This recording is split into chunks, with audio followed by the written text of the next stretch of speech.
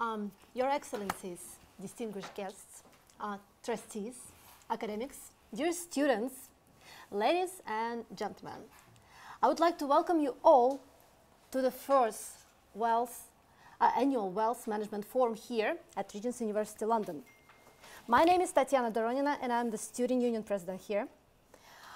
I'm greatly honored to have this opportunity to say a few words before our new Vice Chancellor, Jeff Smith, uh, will open the conference and address you.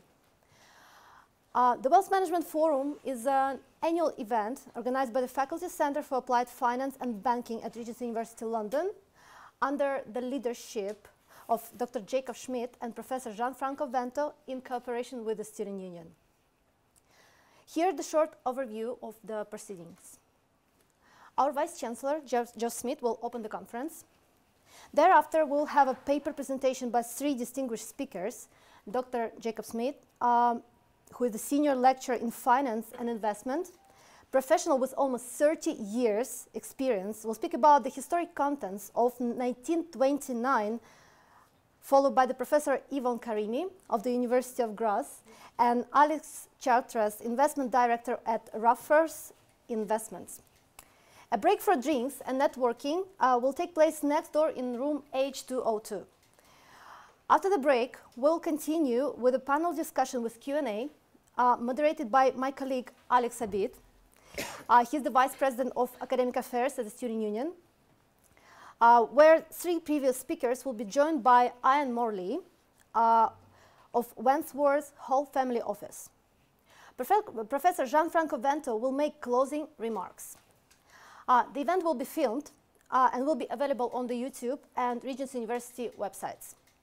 Enjoy the event, and now delighted to call out new Vice Chancellor, Professor Jeff Smith, to open the fourth annual Wealth Management Forum. Please applaud.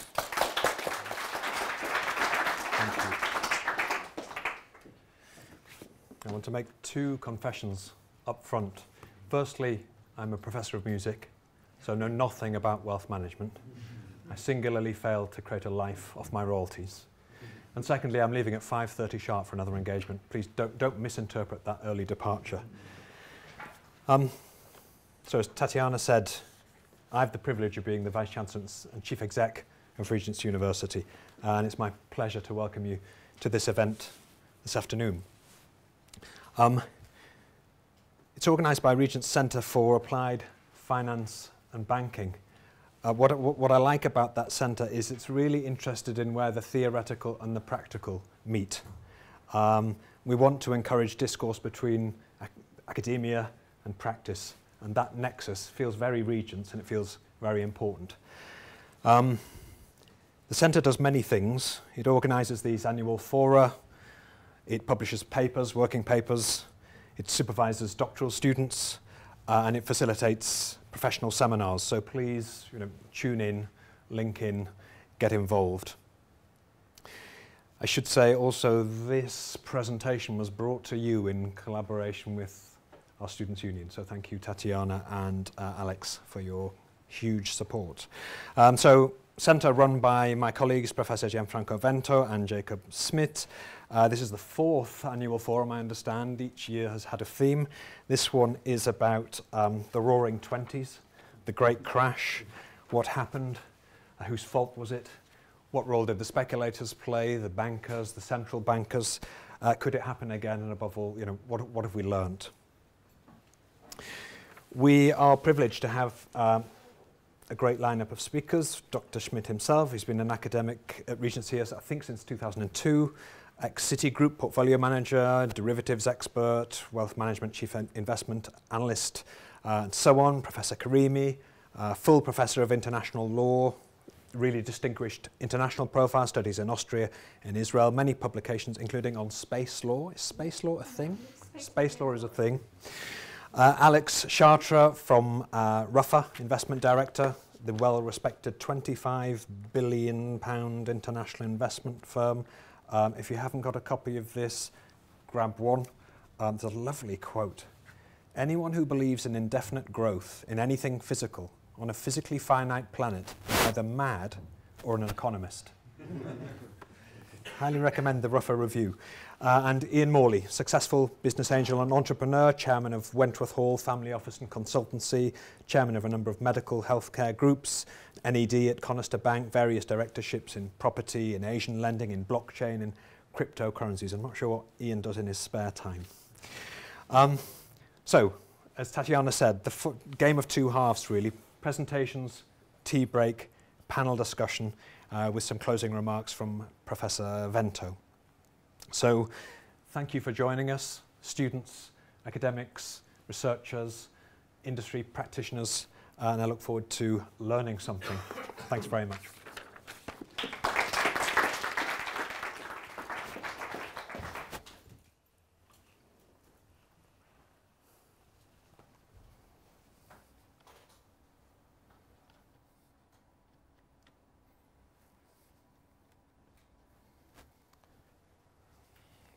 Thank you very much, Vice Chancellor Jeff, for opening the conference. Thank you very much, uh, Tatiana, for uh, supporting us, for working together as in previous years. It's a pleasure. Um, so I've I've been working at Regent's University here as an academic, as a researcher, as a lecturer for many, many years. But what's my interest in 1929? Why are we doing this conference? I think simply because Number one, it's 90 years since this very important date in history.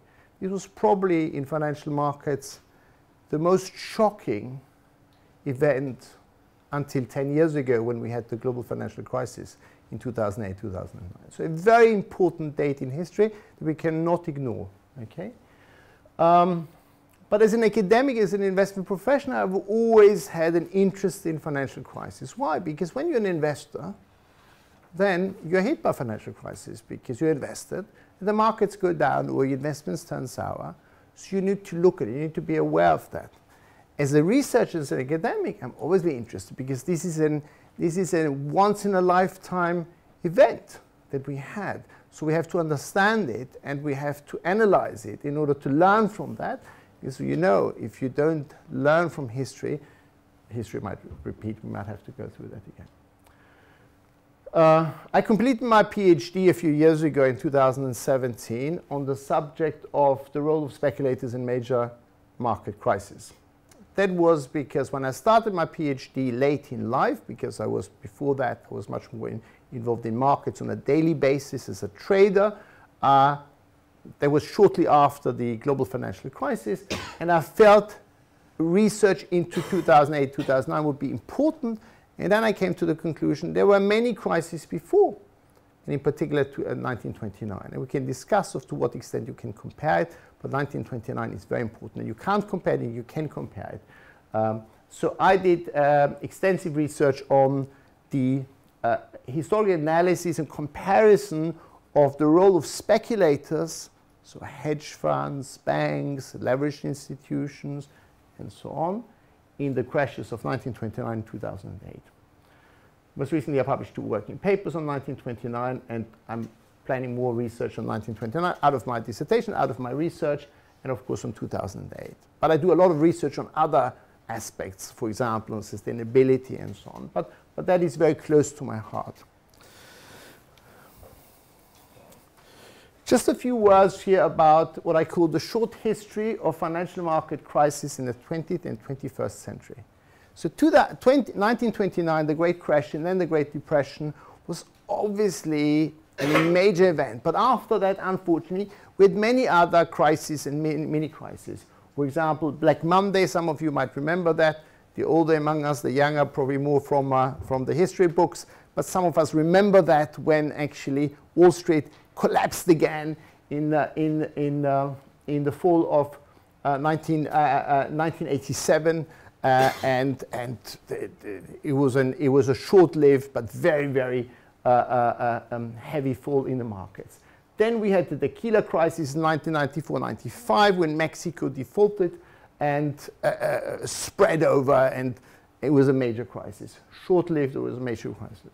It's a debt crisis then the Asian flu in 1997, Russian LTCM in 1998, then the internet bubble followed by the credit crisis of Enron and WorldCom in 2000, 2003, And then finally, 2008, the global financial crisis, which lasted short, but it was, very, it was a major shock. And it was comparable in a way to 1929 um, and led then to the Great Recession. So we had the Great Depression after 1929, uh, which lasted for 10 years, and we had the Great Recession after 2008, 2009, which lasted for shorter. So now we have similar heavy shocks, but much shorter lived than that. Um, so where do we start here? What I want to do is I want to give you an overview of the historic context of that, what happened before, during, and after this great crash. So what was this great crash? This great crash was an, the, an element of the culmination, the peak of speculation. As I told you earlier, I'm interested in speculators. I think they're fascinating because they want to make money and they're supposed to be clever. They're supposed to have superior knowledge. That is what I did in my PhD research, which I don't talk here so much about it, but it's like they are supposed to have superior knowledge to be better and so on. So in my research, I look at that and are they really better and so on. Here we want to talk more about what happened in 1929, what led to 1929 to the, to the, to the, to the peak, and then what uh, happened thereafter. Uh, so, so, so the market crash of 1929 is really considered a unique, what we call in statistics or in finance, a five sigma event. That means it it's a very slim chance that it happens, okay, but it happens. And there are many people who research that and they know that, they know, you might have read of a famous book by Nassim Taleb a few years ago who talks about the black swan. Okay, how likely is it is a black swan? Okay, we say black swans are very unlikely, but then they happen. There are more more black swans than we think out there. The same with crises, as I showed you earlier, with these mini crises that we had since 1929. Uh, so we think that these five sigma events only happen once in a lifetime. Okay, um, but then the mini crises happen more often. Okay, so once in a lifetime, 1929 in 79 years later, the global financial crisis of 2008, 2009. Um, the problem is with these heavy shocks is that they might take you out of business. You just you might just kind of lose everything, and that's what happened in 1929. I'm going to speak about that. Um, the 1920s, as the vice chancellor said earlier, were also called the Roaring 1920s. Okay, it was like were called the golden 1920s, in particular in the US. Amazing innovation, good spirit after the war. The United States were not affected by that. So it was very roaring. Okay? Equity markets were booming, lots of speculation. But there were a series of structural issues that we're going to discuss. Uh, so, so in Europe, we felt these consequences of this brutal war, the first time, the, the, the Great War, later called the First World War because unfortunately mm, 20 years later we had the Second World War and so. So in Europe we suffered from the consequences of the brutal war. Um, and then came the market crash of 1929 which really took people out of their foundations and was shocked the world. Okay? Uh, so what I want to cover here is I want to speak a little bit about the uh, the, the, geographic, the, the, the, differences between what happened in Europe and what happened in the US, and then potentially how can we explain it? What do people uh, uh, say about that? As an academic, I have to look at some sources. Okay, we cannot just make things up. Okay, so some of the sources, some of the literature that I studied and that I find important. The first one is probably uh, the most important source of information that you can get, because let's not forget, 1929, 90 years ago, there's nobody, hardly anybody left to, who lived back then. And the people who lived back then are now probably centenarians, okay, are over 100 years old, and then even then they would have been only 10 years old.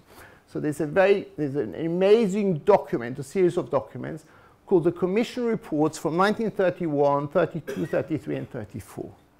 Over 10,000 pages of documents which are available because the Federal Reserve, the Federal Reserve Bank of St. Louis, one of the 10 Federal Reserve banks in the Federal Reserve System in the US, published now all these, not just published, they scanned all the documents and made them available on the internet and you can study them. 10,000 pages, amazing. Because after the crash, the US Senate decided to set up a committee on banking, or there was a committee on banking and currency, and they got a mandate to investigate that. Very important investigation. These investigations lasted for several years. And then they came out with this, the final document, which was the Commission report of 1934. So they published papers over a few years. In 1934 was the final document, 400 pages of conclusions. Before that is all the sources, all the interviews, all the bankers and so on they interviewed and so on very interesting uh, uh, information that you can get. Lots of details about who did what and what was the role of the banks and the central banks and the feds and the politicians and so on. Okay? Another very interesting document is a document on the role of the banks. It, that's all in the, in, in the US. It's called the Statistical Data of 1931 where actually they looked at the banks what happened at the banks. And then, as you know, there was a banking crisis after the crash of 1929. There was a banking crisis in, in the US in 1931 and in other parts of the world and so on. Very important document. Um, then a more readable book, very, I don't know whether anybody has, has seen it or has read it. It's The Great Crash of 1929 by J.K. Galbraith. Okay, like, very important. He wrote it in 1954, okay, because he was asked to do a history of what happened to that. Uh, because nobody had done that, nobody had described it. He also consulted some kind of sources and so on. and So on. it's very interesting, very readable, very short, only 150 pages. It's very interesting and gives his opinion. We're going to refer to that later. Another very inter interesting uh, uh, source is uh, Milton Friedman's Monetary History of the United States of 67 until 1960, where he actually analyzed the banking system in the US from 67, which was after the civil war in, in, in, the, in, in, in the US until 1960. Okay, very interesting. And he discusses in particular monetary institutions policies, in particular about 1929. And I'll give you some insight into that a little bit later. And then, for me, an amazing uh, uh, theory that Hyman Minsky developed in the 1970s, 80s, and 90s that he calls the financial instability hypothesis. He calls it a hypothesis, but it's really a theory already with, uh, with, um, with some kind of conclusion what happened. So that's also very interesting from a theoretical point of view uh, um, document that we can look at. Um, so now over to the historic background of the great crash of 1929. What I want to do is I want to talk a little bit about, first about the gold standard, then about some European countries, Germany, United Kingdom, France, and China, and the Soviet Union, and then we talk about the US. It's really the US I'm interested in because the US was the center of speculation, but we need to understand what is the global context and, and so on. Um, so the 1920s, as I said earlier, were really called the golden 20s, but they had a, a series of structural issues. Okay, so we had the US, which recovered from the global crisis but was not involved in the war. Europe, which really came back out of the war, okay, uh, uh, countries changed their legal structure. Germany became the Weimar Republic, Austria, an empire, suddenly became a small country, lots of different new countries. France, United Kingdom, the, the, the British Empire became smaller, and I think we're still becoming smaller every day here. I think this seems to have been lasting for the last 100 years, unfortunately. Um, uh, so, so, so, so, there were real, real uh, uh, uh changes in the world out there. Okay, um, the Versailles Treaty, the negotiations about the reparation payments of Germany versus the Allied forces uh, was very tough on Germany. Uh, Keynes, who was a part of the negotiating team, had warned that the heavy burden of the reparation duty on the German economy would be too heavy. Okay, so it's very interesting. He is a Brit. He understood that. Okay, France was in a transition, from the agricultural to an industrialized nation.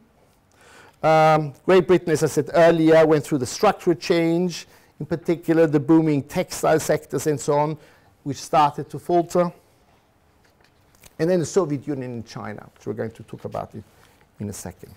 Okay? Uh, The US, as I said, had uh, entered the war very late, the First World War, I mean here, and were not impacted by this. So they came out um, um, relatively unaffected, okay, and, and, and then there was a lot of innovation in, in, in the United States.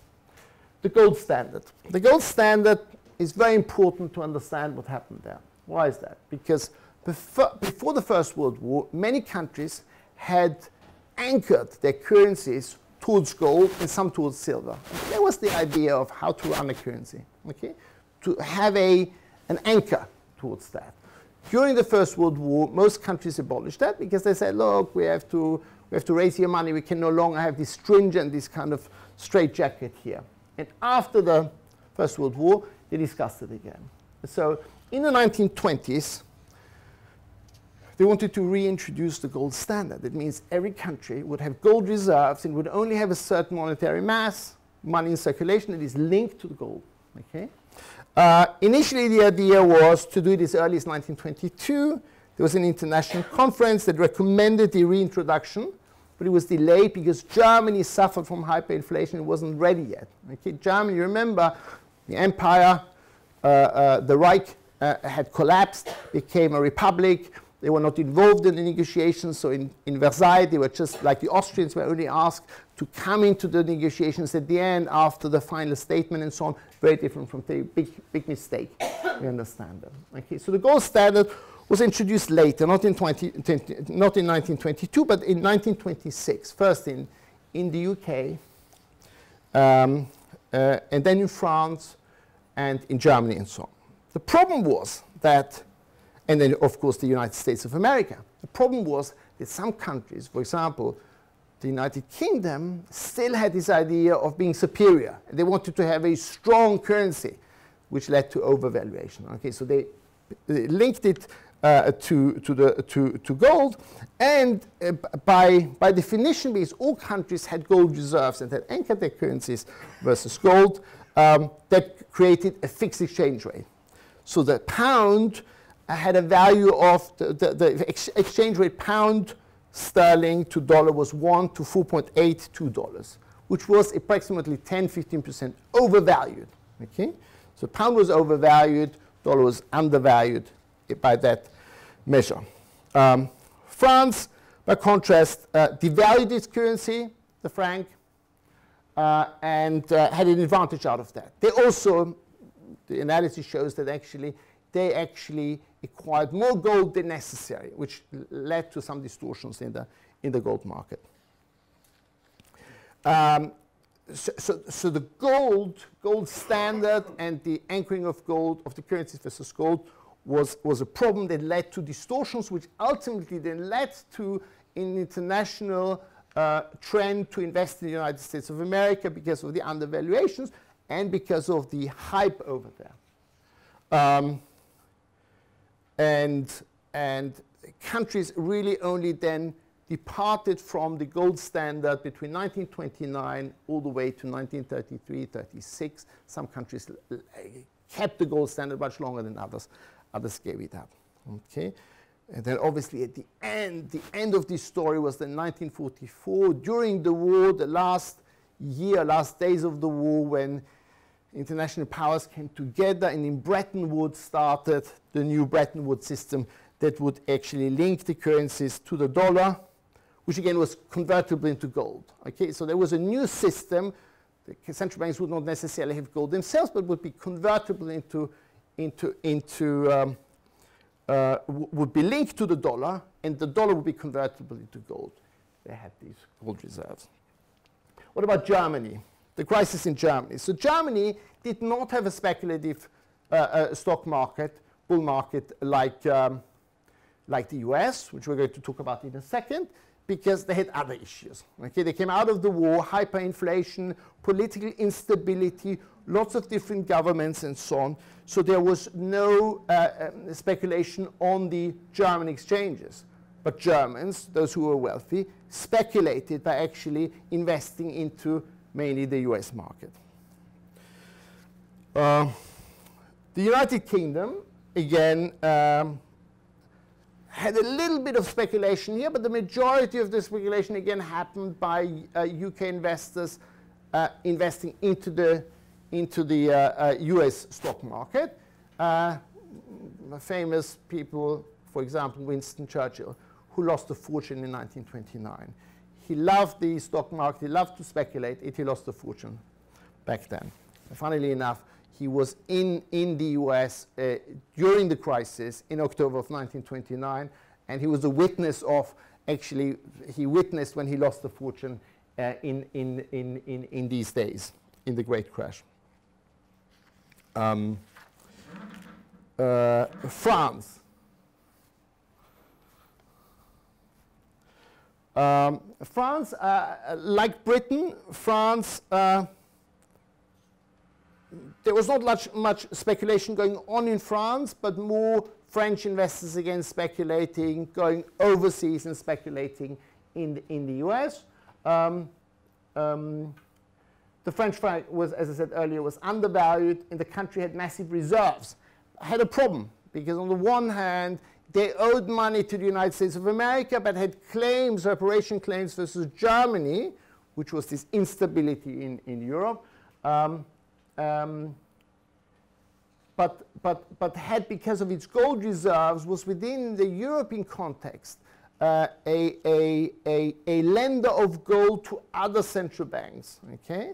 And in 1931, when the Austrian credit Creditanstalt, which was one of the major crises in, in, in, the, in, the, in the banking uh, field, uh, collapsed, the French got involved and lent money to the Austrians, or lent gold to the Austrians to, to help them. Um, then China. Okay, China back then was not a wealthy country, not like today, uh, and it was definitely not wealthy enough to anchor its currency to gold, but they chose the more affordable silver standard. Okay? Silver, by the way, was also an anchor to the dollar in the 1860s, 1870s.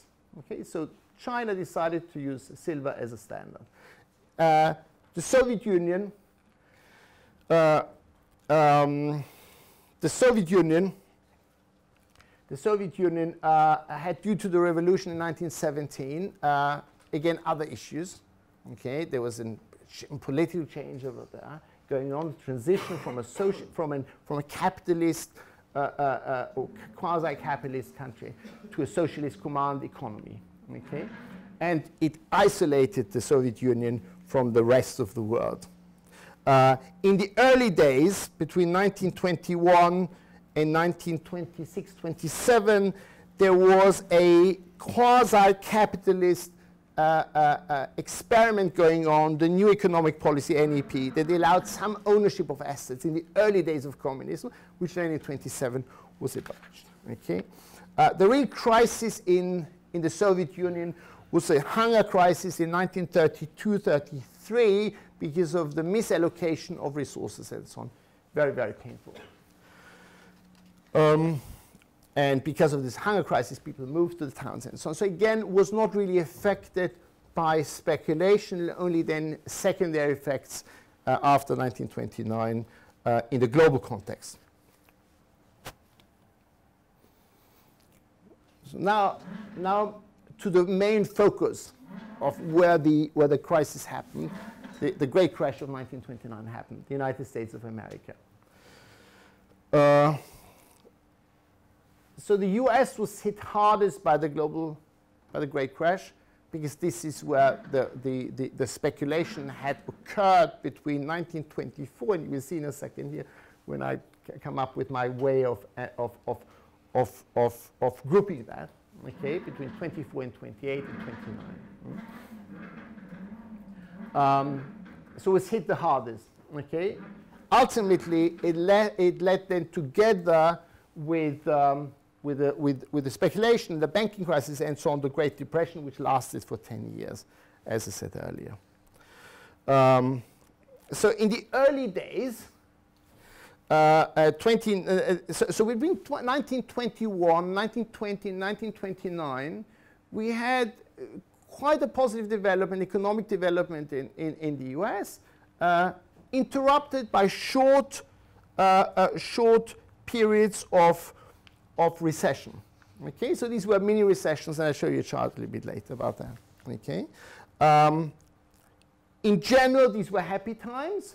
Some people suffered, not everybody participated in that. Again, it's like today, we have a booming economy, but not everybody participates. In particular, uh, white uh, farmers, Native Americans, and Afro Americans did not prosper. Okay? The rest of the population had a good time. Okay? They prospered, they, they, in particular in the towns in New York, in Chicago, and so there was a lot of development going on. Um, Friedman, Milton Friedman, this describes the period of 1923 to 29 as a period of relative, relatively steady growth, interrupted by two short, rather mild recessions from May 23 to July 24 and October 26 to November 27. Macro data shows that the number of manufacturing establishments grew from 133,000 to 206,000. So a lot of innovation, a lot of startups going on.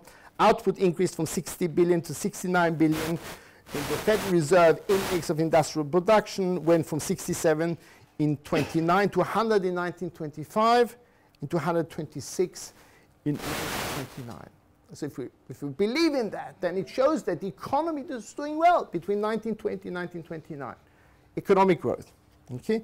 Inputs rose, capital was exported, and the US stock market turned bullish. Okay? So there was a very positive development over there. But there was also a trend for getting rich quickly. Firstly, via the real estate market, I'm going to speak about that in a second, in Florida, and then later via the stock market so the, the, question here is really, was the stock market cheap or expensive at the beginning and then at the end? Most commentators agree that the stock market was very cheap in the early 1920s. Um, and that really led then in 1924, after this initial you know, recovery, okay, to this five-year bull market. Okay, initially a mild bull market, and then in 28, 29, a kind of violent bull market. I'm going to say in a second. Um, in terms of monetary policy, the Federal Reserve was set up in 1913, the central bank of the, of the United States of America. But it really received a new chapter with more responsibility in 1922. And then between 22 and 29, and later on, developed tools and mechanisms of how to get involved. That is important to, to remember because before 19, 1913, there was no central bank in the United States of America. Banks operated without a kind of a supervision and perhaps lend of last resorts, which are the two main functions of a central bank, if I may say. Um, but really only in 1922 it got a new, a new charter and then started developing its tools and so on. We're going to talk about that, whether they had enough tools and were uh, uh, experienced enough to, to face the, the, the speculation and the crisis. Um, a few words about Florida and the stock, uh, not the stock market, about the property market. As you know, in the United Kingdom, we like the property market. We like to buy property. We like to speculate in property. Okay? But as we say, as already King Solomon said, there's nothing new under the sun. Okay? Even speculation in the, in the property market is not new. So in the 1920s, early 20s, Americans discovered that Florida is a beautiful state. Why is it beautiful? Because the sun is shining and because property was cheap.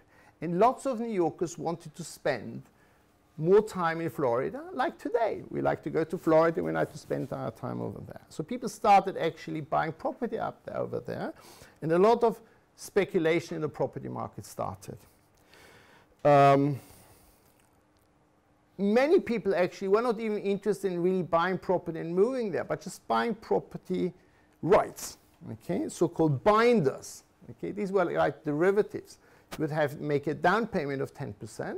You would a binder. You would get some documents of what you would own. Okay, you would buy some kind of land somewhere in Florida where there were not even streets. There was no uh, no water, no electricity, nothing. Okay, just a plot of land. The farmers liked to do that because they sold this land expensively.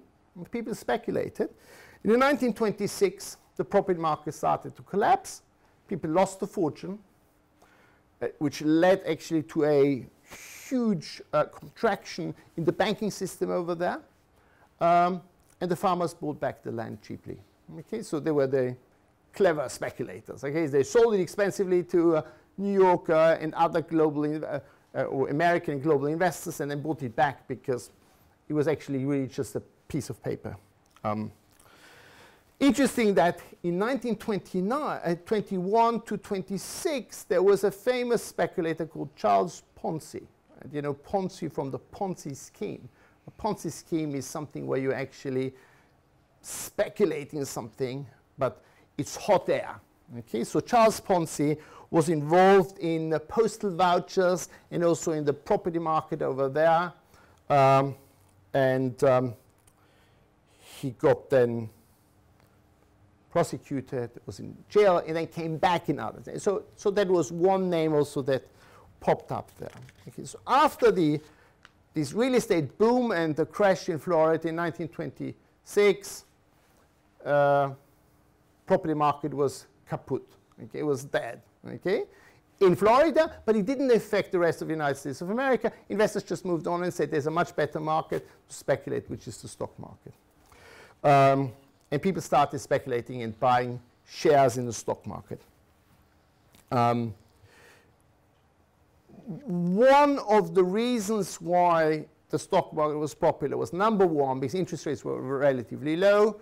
People could borrow money to buy stocks, which is called leverage, which is called buying on margin. Lots of margin buying over there, okay? And because of the distortion in between Europe, the currencies over there, and, and the United States of America. Um, but also the stocks seemed inexpensive because of all the innovation going on in the United States of America. There were lots of radio was a new technology, then television. Um, there were there were the the, the, uh, uh, the way to communicate stock prices, so people could actually have up-to-date stock prices because of the telegraphs and so on would be so suddenly people could buy stocks they didn't have to be based in New York and on Wall Street, but could be anywhere in the country. We would see the ticker and we'd see what the prices are and started getting excited about that. I would say very similar to today in the cryptocurrencies and in some other elements where people actually getting very excited about and think this is something I should get involved. But really in 1928, Galbraith writes, the nature of the boom changed. So suddenly, in 28, stocks didn't just go up, they went up a lot. There were new instruments out there that people started to speculate in. Two main instruments. One were so-called investment trusts. These were closed-ended funds that would be launched on the stock exchange and people would buy. So rather than buying individual titles, you would suddenly buy funds, portfolios with 500 to 1,000 titles in these funds unbelievable today because today a fund would have 20 stocks, 50 stocks, 100 stocks. 100 stocks is already quite diversified. But they had 500 to 1,000 stocks. So everything was in there. They put everything in there. And they used leverage in these investment trusts in a specific way by actually structuring preferred shares and common shares. And the preferred shares would actually take up the money and so on. And the second structure called holding companies, where actually the, the, companies, holding companies would dominate underlying industries by actually owning the shares and, and, and, and issuing preferred shares to the investors. So, so, these two as, as main characteristics of that. Um, in terms of politics, we had uh, Calvin Coolidge, who was the president between 1923 and 1928. Hoover got elected in, uh, in November of 1928 and took office in 1929. And Coolidge said, he lived through this amazing time and said, this will continue. There was an, uh, an idea of this would continue forever. Uh, he was later criticized for his lack of, of analysis and ignorance of the kind of speculation that was going on. Um, the stock market really became overheated in 1929. So we had 24 to 28, bull market started, uh, lots of people got involved and so on. And then at the at late 28 and 29, even the bellboys, even the cleaners, even the, sh the, the, shoe shiners would know more about the market than, than the professionals and so on. There's also a lot of other things going on, criminal activity, uh, that I focus on in, in, in, other papers that I've written and so on. But there's a lot of pool activity, criminal activity, tax evasion and so on going on that actually fueled this, okay? Lots of insider trading going on where the insiders had more information and the man in the street who just looked at the ticker thought this was a good stock and so on. Lots of pushing of stocks, what we would call today boiler room activities and so on. In 29, it really started getting out of hand. Uh, in March of 1929, the market corrected and people started getting worried. The, the uh, uh, Citibank, not the Citibank of today, but the previous National Citibank of, of New York, and others actually ignored the warnings of the Fed. We said, this is a good correction, don't get involved. They got involved, they lent money at very low rates and started buying shares in the market and so on, which turned with, after a short correction in March of 1929, market came back and continued roaring through the summer all the way to to, uh, um, to uh, October of 1929 when we really had the, the, the peak of the, of, of, of, of, of the market and then the market started to correct. Um, October 1929, which was 90 years ago and 30 days ago. Today is the 21st of November the major days of October, and we're now since the, uh, since the great crash of 1929, we're always concerned about uh, autumn, in particular October, right? So many crises, we say, start in October for some kind of reason, okay? But what were the major days back then? Okay, so we had Black Thursday, which was 24th of October 1929, which funnily enough is also, was also the 24th of October, Thursday of 2019. What a coincidence. The same day of the week with the same date just 90 years later. That was when, this, when, the, when the, the market started to correct. There were signs already of the market correcting and coming off in September, but really started in 1929 on the 24th of, of October. Nobody really knows why. Some people say because in, in the UK, there was a collapse of enterprises by a gentleman called Charles Hatry. Charles Hatry was an, uh, built, an, built an empire of, of companies and financed it with a lot of debt, and he, it collapsed. Some people say this was the reason. Okay? Others say there were some reasons in the US that some companies, some uh, utility companies got into trouble and so on. But nobody really knows exactly why it is, but suddenly this mood changed from a very positive uh, mood of speculation to suddenly people wanting to sell.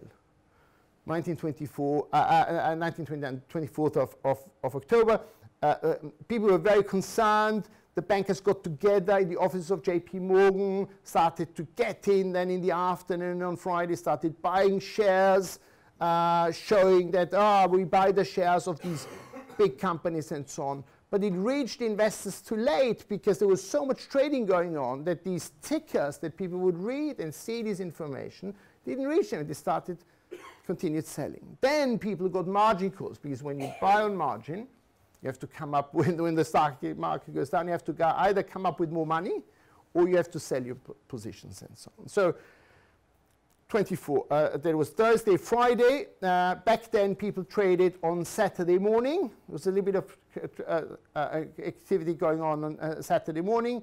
And then on Monday morning, Black Monday and Black Tuesday, the selling continued. It was very heavy. Some blues, uh, blue, blue chip stocks actually sold off by 20, 30, 40%. And so like free fall, a little bit like what we saw in 20, 2008, 2009. Um, and this selling then continued all the way to 1933. In the end, the stock market co corrected by almost 90%. The stock market, not the individual stock. Some of these investment trusts, like Goldman Sachs Trading Corporation, which was one of the leading investment trusts, traded as high as $300 and was worth 65 cents in 1933. There was Goldman Sachs, where Goldman Sachs partners were involved and so on. Um, so people lost the fortune. Um,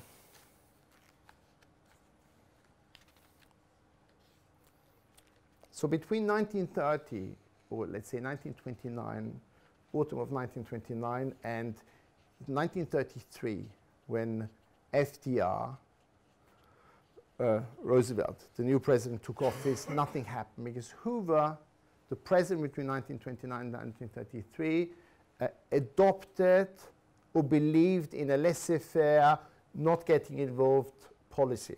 Okay, that meant the Fed would not do anything. Um, the politician would not get involved because it would sort itself out. And it didn't sort itself out. It got worse and worse. Keyword Hoover, the Hoover towns. People losing everything and then having to live somewhere in a shed in Central Parks, in Central Park in New York. Okay, um, so so the, the, the, the, the, the, crash on Wall Street led to uh, to to to the population losing all their fortunes, people getting extremely poor, uh, uh, losing their, their, their, their, residences and so forth and so on. So affected then the stock, the affected then the economy and led to this Great Depression. Only in 1933, when Hoover got elected, and he started a new economic policy called the New Deal with regulation, regulation of the stock market, regulation of the uh, of trading, regulations of IPOs and so on. It, there, a slow recovery started, which lasted in a few years. Um, uh, but but it was a it was a, a, a very prolonged depression that we call today the Great Depression, uh, uh, and really lasted until 1938. In 1938, the Second World War started, which kind of got us uh, refocused. U.S. obviously only entered the uh, Second World War in 1941 uh, with Pearl Harbor, but already we saw some kind of improvement back there. This is a chart that I want to show you here, which shows us here the S&P 500 or the predecessor of the S&P 500, because the S&P 500 didn't exist back then. It was the S&P 50 and an S&P 90, um, where you can see that you have the uh, stock market that actually, uh, because only, unfortunately, only goes back to 1928. So 28 to 29 is huge increase, okay? But it would, if you go back to 1920, would be much, much longer. But there's no data available on that. And then you see the shaded periods here are these um, periods of recession. Okay, you saw the long recession, recession of four years going on. Can you imagine four years of recession? Unbelievable. So it led to uh, a, very, a, a lot of hardship in the United States of America. Then the recovery, and then another recession here in 37, 38, and then came the Second World War. But the point here is that it took the stock market 25 years, from 1929 to 1954, to reach the levels of the S&P 500 or whatever, what you have you, to get back there. Okay, by comparison, in 2008, 2009, the recovery was much, much quicker. Why? Because um, Alex hopefully is going to speak, and I know he's going to speak about it because the, the, the, approach was different, and Professor Karimi as well. So, so there was a very different understanding because I think the central bankers, they learned that they, they ignored the, the warnings and they should have done more about that. Okay, so here, just quickly here, a comparison of the sources and theories of the Great Crash. The SETA Commission report, very important document, okay? It's almost like a pure document because there's all these interviews with the views and the Pecora Commission. Pecora was a, uh, a, a Italo-American who was very uh, um, anti-bankers. The bankers were very powerful in, in, before the Great Crash and so on. He, as a prosecutor, was very aggressive towards the banks and so on. You see all of that, Ferdinand it is. So commission report blames the banks and its officers as well as the Federal Reserve for the Great Crash. You think, these were the speculators. That's what the commission report says. Also very interesting, by the way, to look at the commission report of 2010 of the global financial crisis, which I also did, by the way, in my PhD, and so on, to see what, what happened over there. And very similar, there are similar conclusions there. Then we have Galbraith, who said the crash of 1929 was a consequence of wide speculation, massive leverage, and criminal offenses. Friedman says, okay, it's the, the crash was the result of inadequate monetary policy. Of course, because he's a monetarist. He looks, everything he, he sees or looks through is through the eyes of money and the monetary policy, okay? And uh, uh, uh, Friedman and, and, Schwartz, Anna Schwartz, uh, uh, blame mainly the Fed for the inaction and the underdeveloped tools. I think it's too simplified view. It's not just the Fed. I think it's everybody, the president and so on.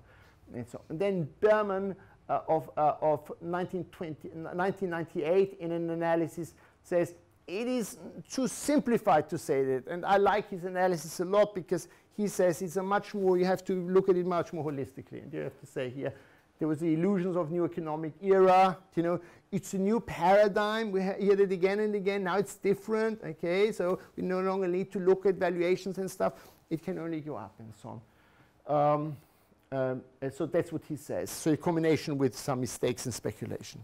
Okay. So in conclusion, okay. So in conclusion, the 1920s, as I said, was a decade of economic prosperity and development, interrupted by, interrupted by three short recessions.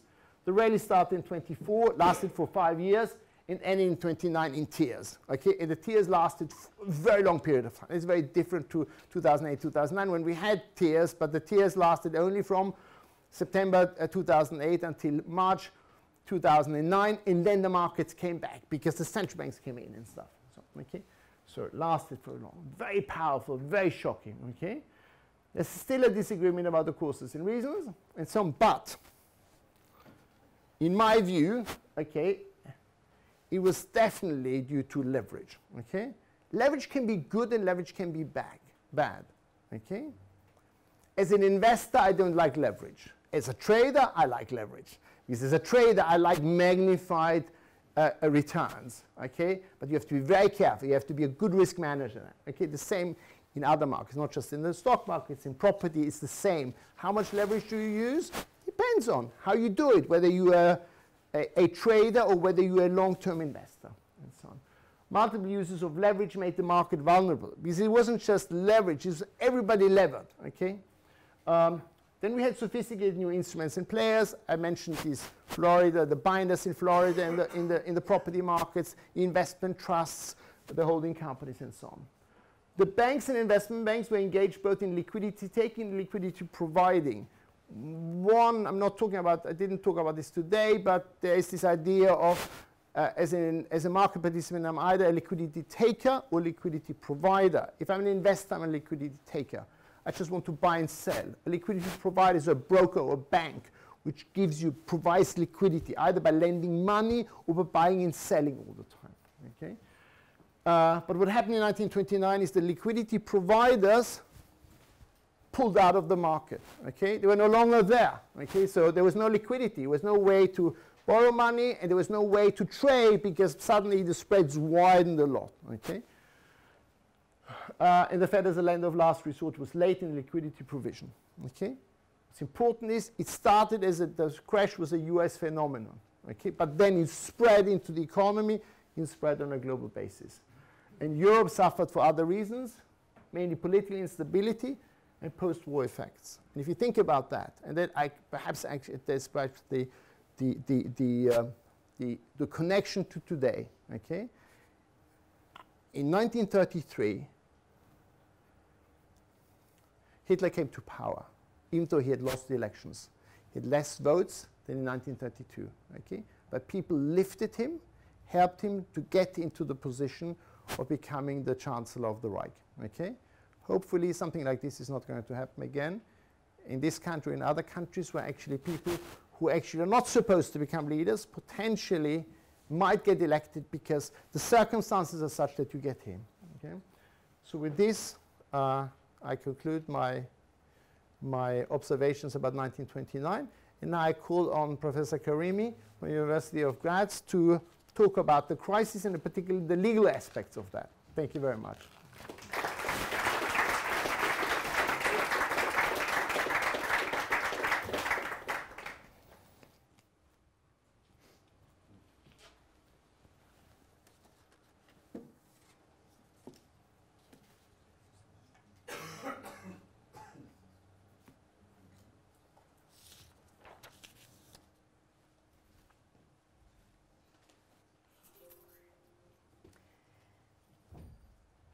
Dear ladies and gentlemen, dear guests and representatives of finance and academia, it's a great pleasure for me to speak here in this uh, distinguished uh, forum about a very important topic, uh, namely the great crash of 1929 called Black Friday. We have heard a lot of things about this, um, which ushered in Great uh, Depression.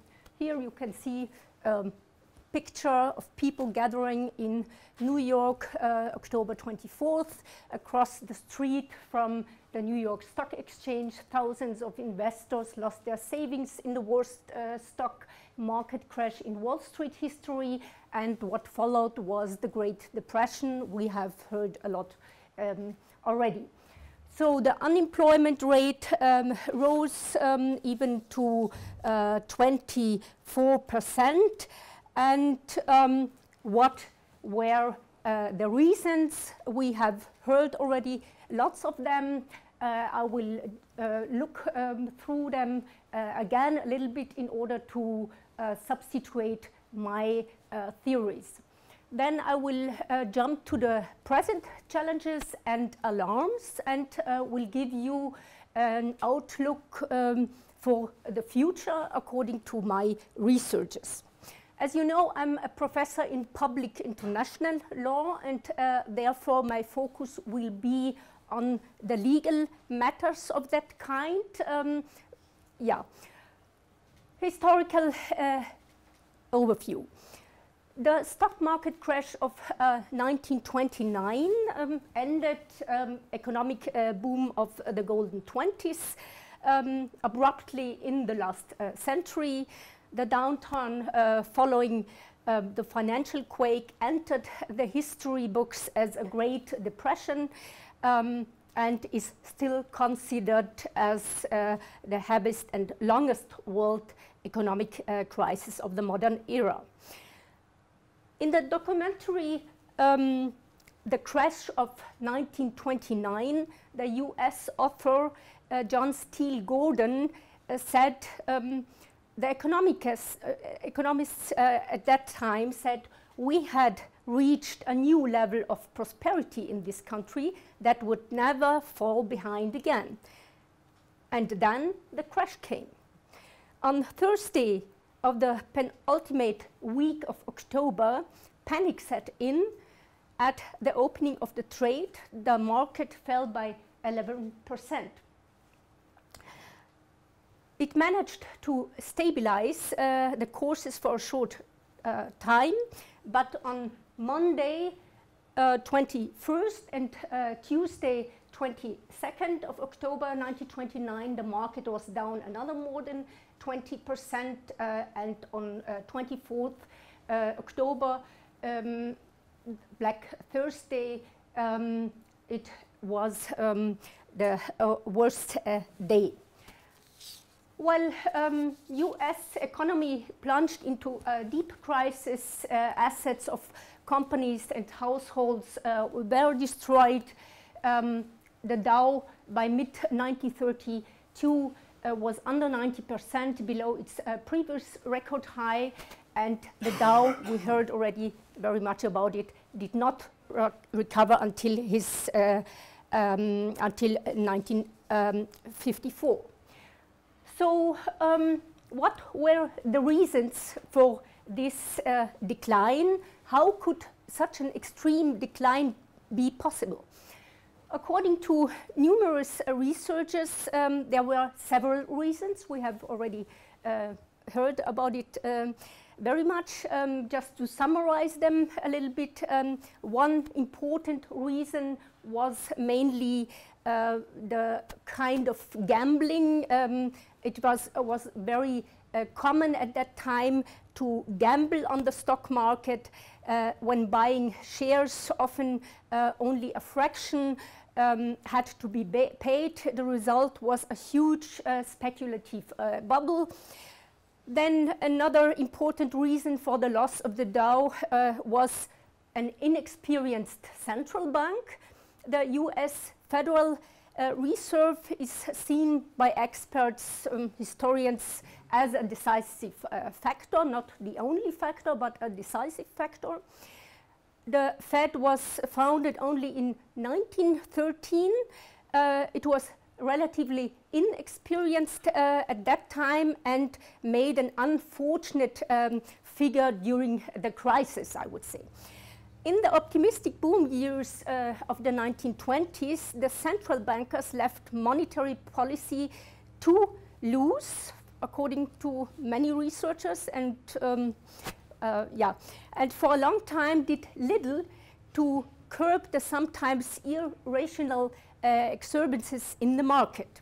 When the bubble burst, uh, the Fed then let many bankrupt banks die rather than flood the financial uh, system with extra liquidity. In retrospect, um, this brought a lot of criticism to the institution, to the Fed, including that of uh, later Federal Reserve uh, Chairman Ben Bernanke. Well, another reason, uh, we have also heard much about it, um, uh, it were the many international conflicts that burdened uh, the global um, economy. It was um, after the First uh, World War um, and the Treaty of uh, Versailles with its controversial uh, uh, German reparation payments. There were many other international conflicts that burdened the global economy. the US too um, uh, brought it with it that uh, economy uh, began to cool down.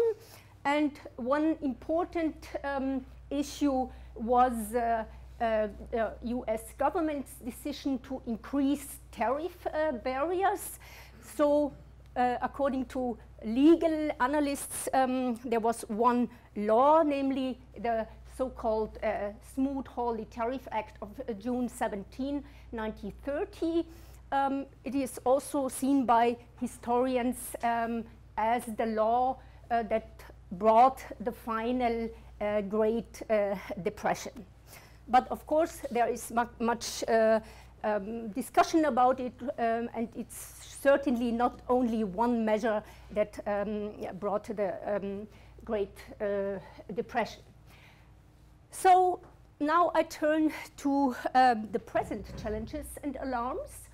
Um, according to my point of view and my researchers, researchers, there are at least some alarms and parallels for an extreme scenario in 1929. So what are these alarms? In the US, um, whole series of lossy startups uh, were already listed on the stock markets um, with billions of dollars um, in this year. Alarm signals uh, were already sent by the bond market. Um, there, the government bonds with short uh, maturities yielded more returns in the meantime than long ones, and um, many um, important um, uh, analysts say this is an indicator of uh, uh, recession. Even on the stock markets, prices have uh, again reached a level after years of a rally fueled um, by cheap central uh, bank money, which is sometimes uh, decoupled from the real economic um, situation. But, um, and uh, that is uh, my focus in my recent researches. Hopefully I will um, have enough time in the future to write uh, a book about it. Um, damage is caused um, also by the many trade wars that take place nowadays. Well, US um, President Donald Trump tweeted in March 2018, trade wars are good and easy to win. Trump has um, recently uh, been uh, content with a partial um, settlement in the conflict with China uh, that can hardly be considered a sign of uh, strength, according to my um, point of view. Instead, the clinch of the world's two largest economic powers is now traded um, the most threatening uh, global economic risk. Well, uh, what are these trade wars? I could uh, go uh, into detail um, into many of these trade wars, but I will focus in my speech on one um, very important or maybe the most important uh, trade war involving Europe, including the U UK. That is the um, uh, WTO case, European communities and certain member states measures affecting trade in large civil aircraft. Um, that is the so-called uh, Airbus uh, trade war. And um, maybe after my analysis, you will understand why this is really, really a big uh, topic um, in Europe at least, and for the UK, of course, as well.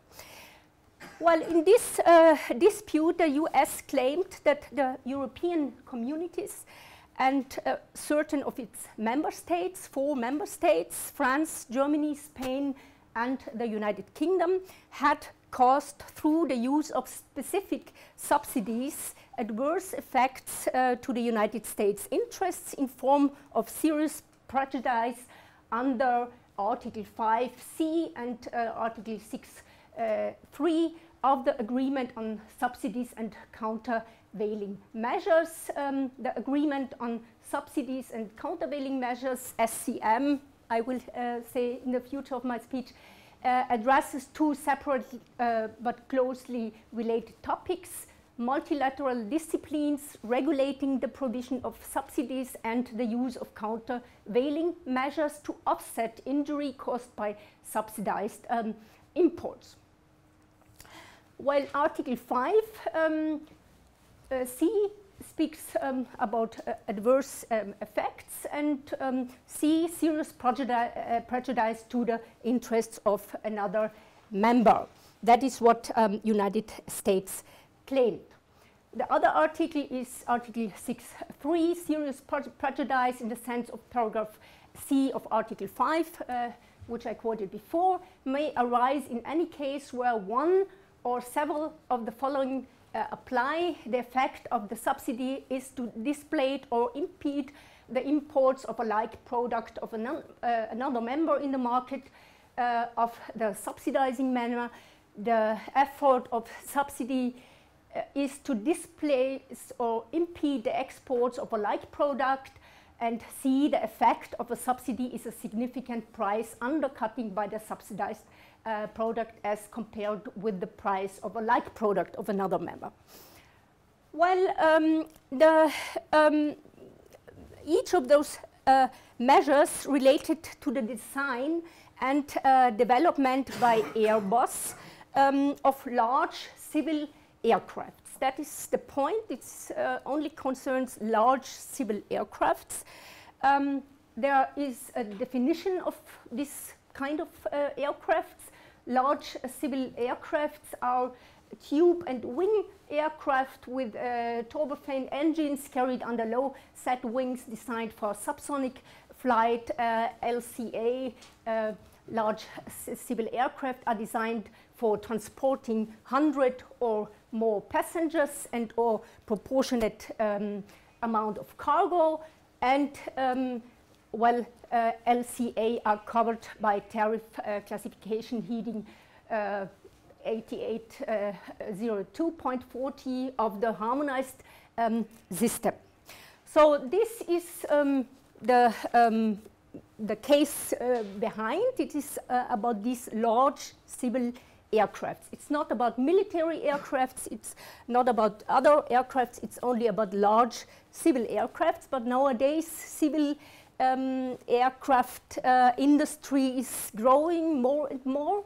So you can understand why this is a very sensitive uh, issue. Well, um, there was um, an original uh, panel uh, after the United States uh, claimed to be um, threatened in their interests and um, the measures of uh, uh, European Union and the four member state caused uh, um, injuries. Um, there was a um, panel, a dispute settlement panel um, established at, at the uh, WTO, the World uh, Trade Organization, the dispute settlement uh, uh, body that has the authority to establish dispute settlement panels refers matters to arbitration, adopt uh, panel reports, maintain surveillance of um, um, implementation of recommendations and rulings, and authorize also um, suspension of um, cessation in the extent of non-compliance with uh, those recommendations rulings. So you see the dispute settlement body, a powerful body within the uh, WTO. And um, it uh, was an original panel established on uh, 20 July uh, 2005. It found that following specific uh, subsidies related to the production and development of LCA, um, large civil aircrafts, were inconsistent with Articles 5, C, and 6.3a, B, and C of the uh, SCM agreement. First, there were launch aid or member state um, financing. Um, the short uh, uh, version is LAMSF for many, many types of Airbus. French and government uh, equity infusions provided in connections with the corporate uh, restructuring of French and um, German aerospace manufacturers, um, Aerospatiale uh, from uh, Spain and Deutsche Airbus uh, from uh, Germany.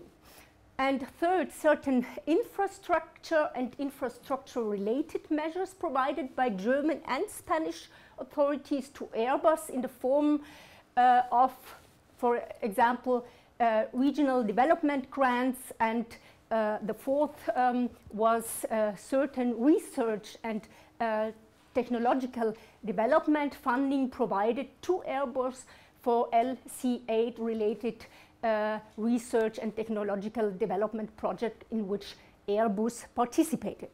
So there were uh, a, a, few, um, many um, uh, things um, uh, involved here. In addition, the original panel uh, found that the United States uh, had established that the German, Spanish, and United Kingdom LAMSF um, launch aid uh, member state um, uh, uh, financial, financial um, for the Airbus type 380 constituted even prohibited export subsidies within the meaning of uh, Article 3.1a and footnote 4 uh, um, of the SCM agreement. You can all read this in this huge panel report. Um, yeah. There was then later on an appeal. Um, the um, appeal in the uh, appeal, the appellate body reversed the original panel's finding that the German, um, uh, Spanish, and UK 8, uh, 380 LA uh, MSF uh, contracts uh, constituted prohibited export subsidies under the quoted Article 3.1. Um, however, it was unable, the appellate body was unable to complete the legal analysis with regard to Article 3.1a due to insufficient factual findings or indisputed, um, undisputed fact on the panel record. Well, uh, the appellate body also reversed or modified several other aspects of the original uh, panel findings and completed the legal analysis where it had sufficient factual findings or undisputed facts on the record to do so.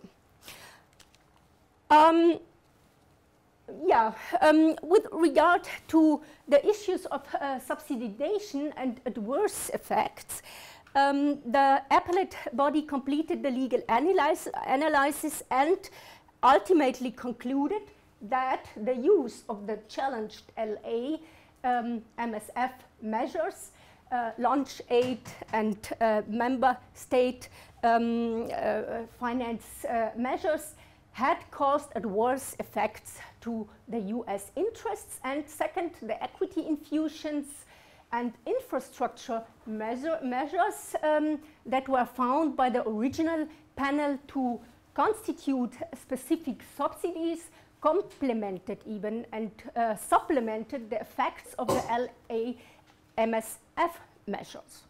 So it's a quite hot uh, report. Um, many people were shocked when uh, they read all this but it was not unexpected, of course. It was a case that uh, uh, lasted, uh, that lasted uh, 14 years.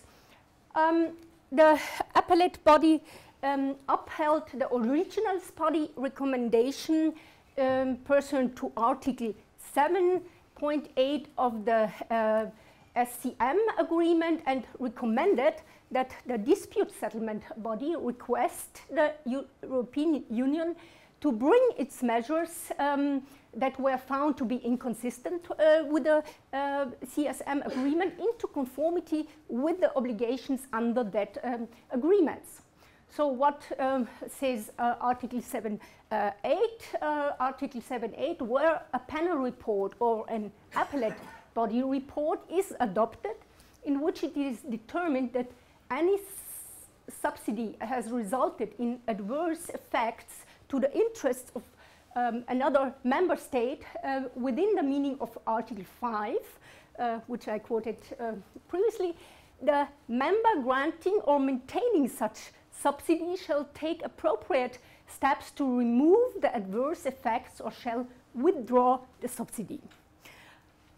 Um, well, on um, June 1st, uh, um, 2011, the dispute settlement body adopted uh, the uh, appellate uh, body report um, and the original panel report as modified by the appellate body report. And um, in December, 1st uh, December 2011, the European Union afterwards informed the dispute settlement body in a compliance communication that it had taken all the appropriate steps to bring its measures into conformity with its World Trade Organization obligations, thereby ensuring full implementation of the um, W uh, of the dispute settlement uh, body's recommendations and rulings, which I uh, explained already um, before. Well, um, only a few days later, namely on 9 December uh, 2011, the US requested to hold consultations at the uh, WTO with the European Union and the four member states, um, alleging that the European Union had failed to comply with the recommendations and rulings of the dispute settlement body.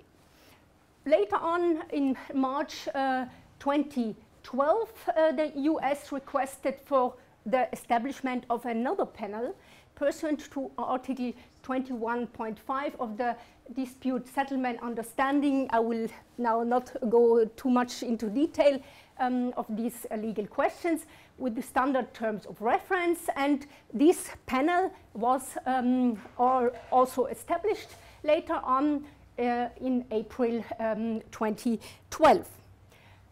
So before this panel, the United States um, had uh, argued that the relevant subsidies found to have caused adverse effects in the original proceedings continue to uh, cause adverse effects and that by agreeing to um, provide Airbus will, with LAMSF for the Airbus 350 family of aircraft, the four member states uh, have continued and even expanded the subsidization of Airbus LSA activities, thereby causing additional adverse uh, effects within the meaning of the already uh, quoted Article 5 and 6 of the SCM uh, agreement. While on this basis, uh, the US um, also submitted um, that the European Union and uh, the four member states um, failed to take appropriate steps to remove all these adverse effects um, or withdraw uh, the subsidy within the meaning of the quoted Article 7.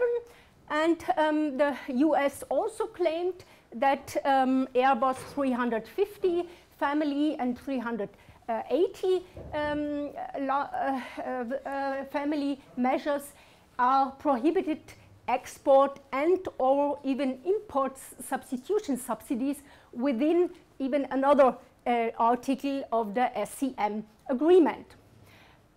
This uh, report um, of the panel, which was, um, which was published uh, in September 2016, wa was then later circulated um, to the uh, members of the WTO. And having found that the challenged uh, subsidies have caused present uh, serious prejudice to the US interests within the meaning of the uh, quoted Article 5. Um, the panel made no findings, however, with respect to the US conditional uh, claim that the challenged subsidies uh, threaten to cause serious prejudice um, to its interests.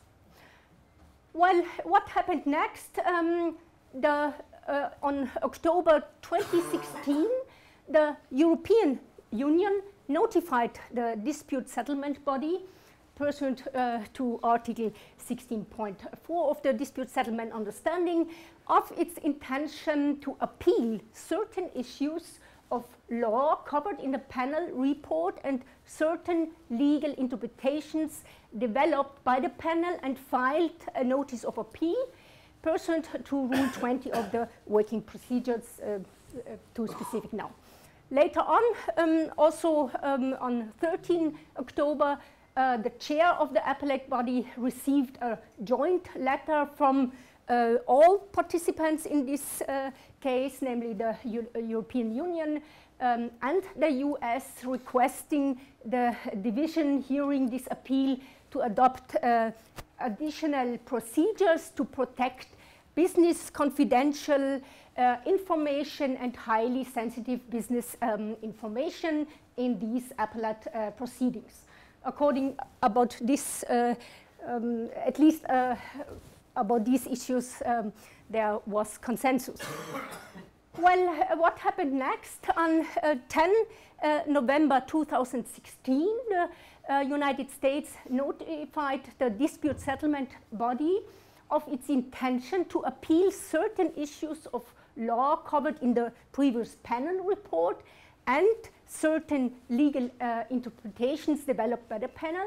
And in December 2016, the appellate uh, body received a letter from the European Union referring to this ongoing appeal and to the then anticipated appeals in US large aircraft. There is a similar, ca similar case against Boeing uh, going on. So really Airbus, Boeing, they are really fighting each other. Um, there are many discussions um, in that context why Boeing uh, uh, 747, uh, uh, this new type of uh, Boeing um, has some difficulties. Um, yeah. Well, um, on 15 May 2018, and that is what brings me quite to the current situation. The World Trade Organization ruled um, in this already 14 year old uh, dispute that the subsidy of 22 billion US uh, dollars for the Airbus Group justified by the European Union um, as startup um, financing, launch aid, uh, member state uh, financing constituted an undue distortion of competition. Well, Boeing uh, CEO um, Dennis uh, welcomed, of course, uh, the verdict um, as a clear message that disregard of rules, of international rules and illegal subsidies will not be tolerated. The US representatives, uh, Robert um, Lighthizer want uh, the European Union that um, if it does not uh, stop breaking the rules and offend uh, US interests, the, then EU products will be retaliated by the uh, WTO uh, after such um, arbitration awards. Well, um, what happened um, then? It was um, in October 2019, it was announced that the WTO uh, allows really these US punitive uh, tariffs on EU imports. Uh, WTO arbitrators approved retaliatory uh, measures for 7 uh, billion US uh, dollar worth of imports, um, currently around 6.9 billion euro um, a year, and this was said um, by, uh, by the um, WTO recently in um, Geneva. This is the highest amount um, that was ever approved in the 20 year uh, old history of the WTO. An appeal against this arbitration award is excluded. The US is planning new uh, levies, new um, taxes on aircraft and uh, components of the aviation industry as well as on many other products uh, such as cheese, olive uh, oil, oranges, and flour, and so on. The punitive uh, tariffs may be imposed until uh, the defeated party, which is the European Union, and of course these four um, powerful member states, um, has eliminated the alleged trade distortions. Um, Brussels, the European Union, however, says this was done long before. Uh, well, there's nothing to do anymore uh, from our side. And um, this, about this application, about uh, this um, um, uh, application, will, there will be an examination, but there's still no date when it will take place. So um, according to the uh, figures from the statistics of Eurostat, uh, goods worth uh, 406 billion euros were exported to the US in 2018. The other way uh, around, it was worth 267 billion euro, euros. Um, the state that would be hit hardest in this uh, uh, war, in this trade war, uh, within the European Union would be Germany, according to a German uh, institute, the Kiel Institute for the World Economy. It has to expect export losses of up to 2 billion euros um, annually. Of course, the EU is not uh, standing uh, idly. The European Union warned already the US before the introduction of new uh, tariffs, um, even if the WTO uh, has approved these uh, planned US measures, recourse to them would be short-sighted and counterproductive. Um, this was recently said by uh, European Union Trade Commissioner Cecilia Malmström. The European Union this is the last uh, information that I have on this uh, case, wants to impose billions of retaliatory uh, tariffs on the US, including aircraft components as well as uh, on other um, uh, uh, stuff like tomato, tomato ketchup and so on. Well, um, recently Carl Icahn, um, a famous um, analyst and uh, a really rich man. He understands, uh, I would say, much about this topic. He said on Monday 15, 2018, tariffs are a dangerous game and have caused stock market crashes. With tariffs, um, it's a very dangerous game you're playing. Billionaire investor uh, said it helped bring the crash in 1929. I'm not a great supporter of it, and um, he um, thinks President Donald Trump finally will be wise enough uh, to consider um, that all this will be settled. Well, um, the question now is, um, could uh, a crash 2099 and uh, the following uh, depression um, happen again? Um, as we heard already, there are few people alive um, anymore who remember living through the stock market uh, crash of 1929, but plenty of people, um, they still view that um, the fateful plunge as a worst case scenario for that might um, what might uh, fall um, investors the roughly 20% uh, decline for the large stocks um, in October 1929 um, actually wasn't the market's worst month um, ever but the drop uh, incited nearly three years of relentless selling and helped to usher in the Great um, Depression.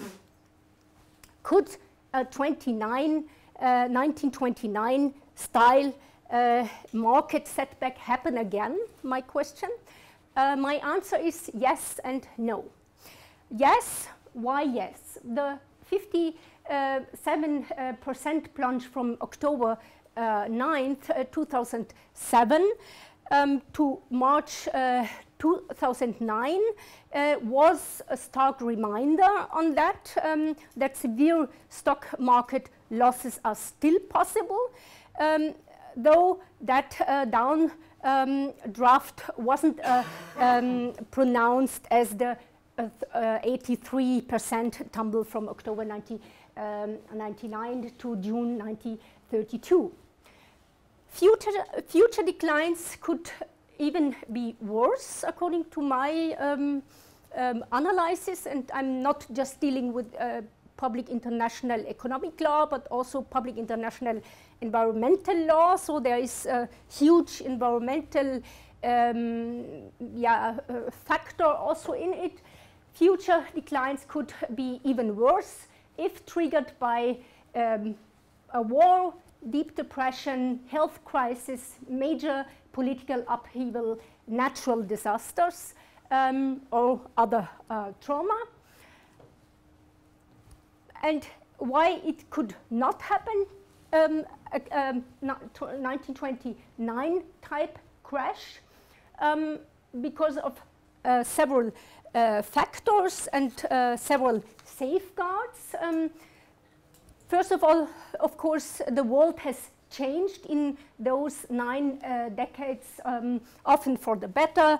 Uh, people now have a much better understanding of how investing and the economy um, work um, and many important protections and safety uh, nets are now in place. There are also more um, stock markets have, that have emerged and expanded across uh, the globe and many new industries have um, proliferated, providing not just uh, more opportunities, but also a greater caution against the collapse uh, through diversification or spreading um, among many baskets. Well, um, why could it not happen um, as it was in 1929 and the uh, years afterwards? There are also more government regulations in place today which uh, provide uh, protections. Many of these government uh, regulations were implemented uh, in the wake of the uh, market crash and the Great Depression. For instance, uh, investor oversight agencies like Securities and Exchange Commission didn't exist uh, uh, during um, the 1920s, for instance, or uh, there was no government uh, oversight of the banking uh, system um, as it exists today.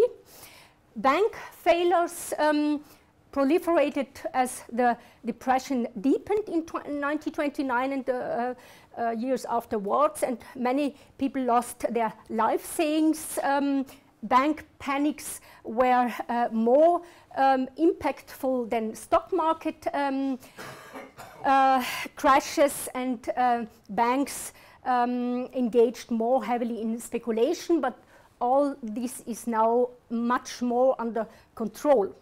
There are also many other regulations um, which now protect investors uh, strong, stronger and which uh, protect also consumers uh, generally. Uh, they include laws that uh, cleaned up uh, the mutual fund uh, industry and now protect investors when uh, brokerages fail.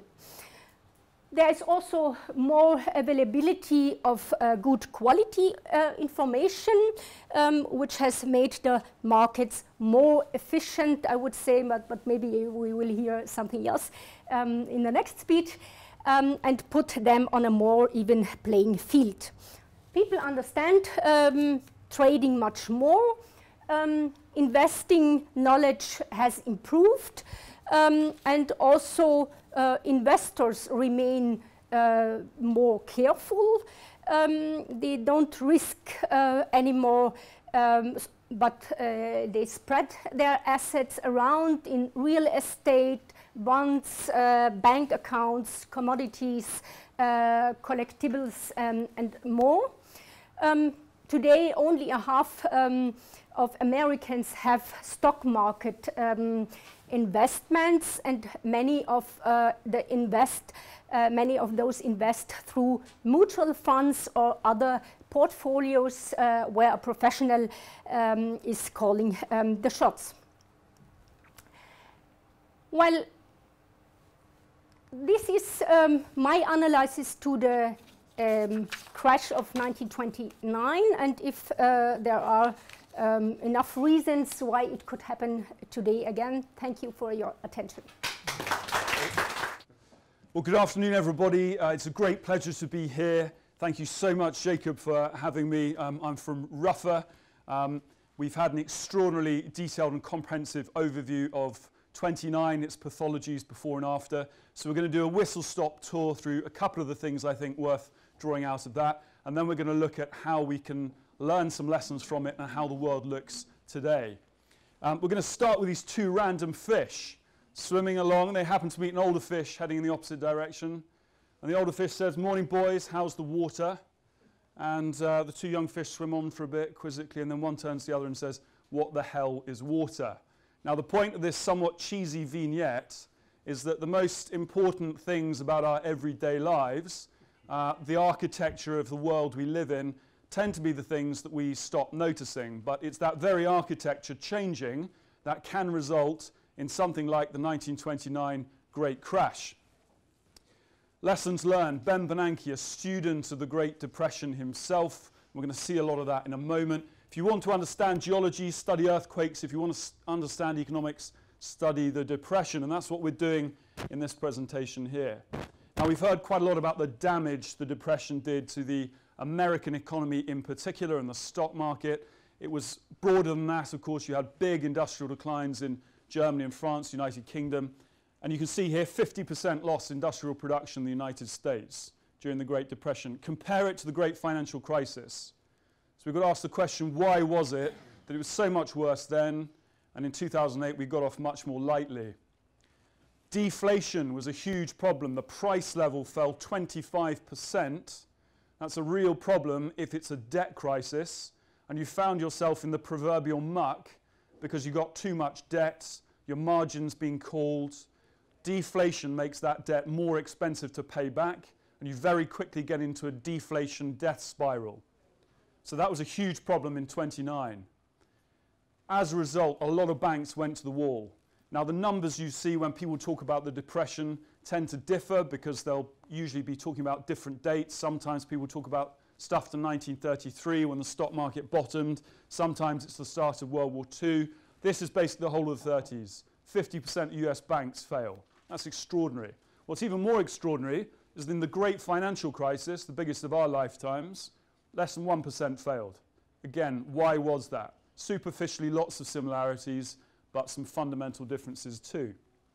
Now, we heard that in nominal terms, so basic index numbers, it took until 1954 to get back to the previous index high after the 29 crash. But that's not the whole story because people don't think about inflation enough. Yes, we had big deflationary problems, but actually it took you nearly 30 years to get your money back if you bought near the peak. Took you 30 years to get your money back in real terms. Now, put that in context, the last two big smash ups we had in dot com and after 2008 in particular, much quicker. And indeed, over the last 30 years, pretty much everything has gone up.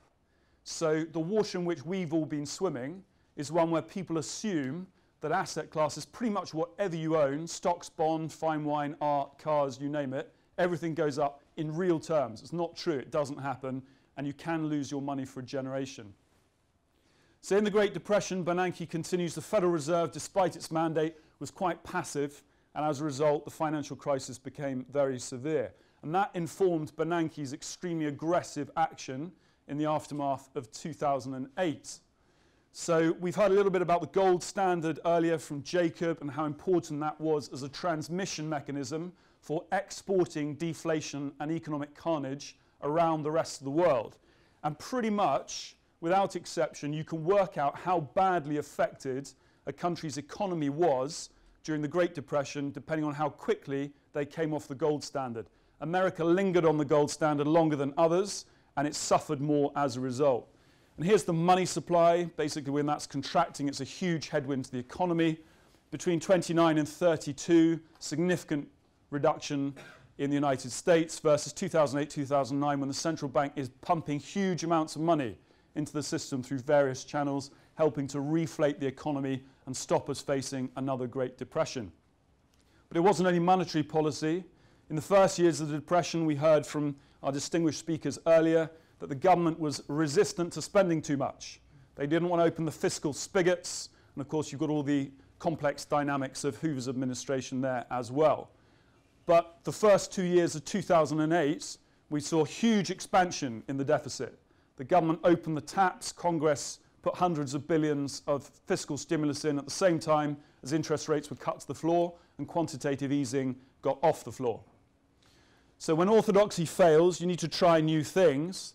Roosevelt, president from the 32 election, starting 33, very willing to try unorthodox approaches. Now, we've already said that characterized Bernanke's approach. But there were three R's of FDR's time in office. He's the, the great New Deal. That was his scheme. We hear about the Green New Deal. Well, the original New Deal is an FDR, as in fact is the first 100 days. Every time you hear about the first 100 days of a president, they're referring back to FDR. Relief for the unemployed, recovery for the economy, fiscal stimulus, reform of financial system to prevent repeat, tighter regulations, the SEC looking over every trade. So we see a fiscal response, we see a regulatory response, we see benefits.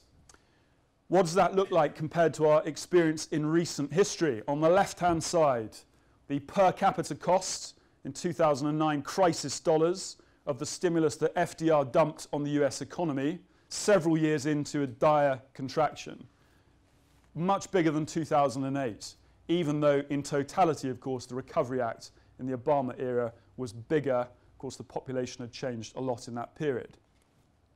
What else is going on? I talked about the fiscal response. Remarkably, despite the fact that the US economy was in free fall, debt to GDP hardly budged in the early 30s in the United States, and that's because they refused to open the fiscal spigots no such problem in 2008, 2009. But I hear you say, Alex, there's an obvious problem with that. And I say, yes, you're right. The obvious problem is that you take out more debt, you've got to pay it back at some point in the future. So they've solved a short term problem, they've avoided a Great Depression, but now we've got mounting debt that's got to be dealt with down the line. For side by side to understand how different the economic outcomes on the back of these different policy responses actually were, We've got a few examples here. Exports in the United States, first three years down 60%. They fell a lot more than that. Subsequently, world trade in totality fell two thirds to 1933. Global GDP, not just the US, Great Britain, France, and Russia, down 15% in the three years afterwards. These are huge numbers. So, what are the similarities we've seen? They're both banking crises, and Jacob eloquently explained the transmission mechanism through leverage, through the bank's activities, through speculation, through margin trading. Uh, the collapse in international trade, well, we saw that after 2008, but much less um, extremely. But of course, in a globalized financial and trading system, that's unavoidable to some extent. Currency manipulation, ultimately achieved in the 1930s by coming off the gold standard that allowed countries to devalue and control their own interest rates more. But in 2008, 2009, they did it by immediately cutting interest rates and pumping loads of money into the economy. All else being equal, if you put $21 trillion of paper money into your economy, your exchange rate is going to go down. That's the sum for all developed world banks having done QE. But if you dump extra money into your economy and the goods and services stay the same, all else being equal, the value of your currency is going to decline versus other people's. There's political reform. In the aftermath of the Great Crash, we had Glass-Steagall separating commercial banking and investment banking operations. In the aftermath of 2008, we've had Dodd-Frank, similarities there. Differences. Well, we've seen very clearly was a totally different policy response. They didn't turn on the fiscal spigots at the start of the Great Depression. They didn't cut interest rates to the floor. They allowed the money supply to shrink. There was no QE. Exacerbated the problem. And that led to massive bank failures. And the really critical moment, as Jacob touched on earlier, was the banking crisis that followed the crash. The fact that all the banks went to the wall, the money supply collapsed, a deflationary spiral ensued. Unemployment, as we saw from the slide two back, yes, it went up in 2008, 2009, but only to about 10%. In the Depression, as Yvonne talked about earlier, we saw it going up to 25%. And it's worse than that because of those that still had jobs, lots of them went on to part time contracts. So 50% of the United States labor force productive capacity was underutilized or not utilized at all in the 1930s market losses. Big market losses in both cases, but more recently, a much faster bounce back on the back of stimulus.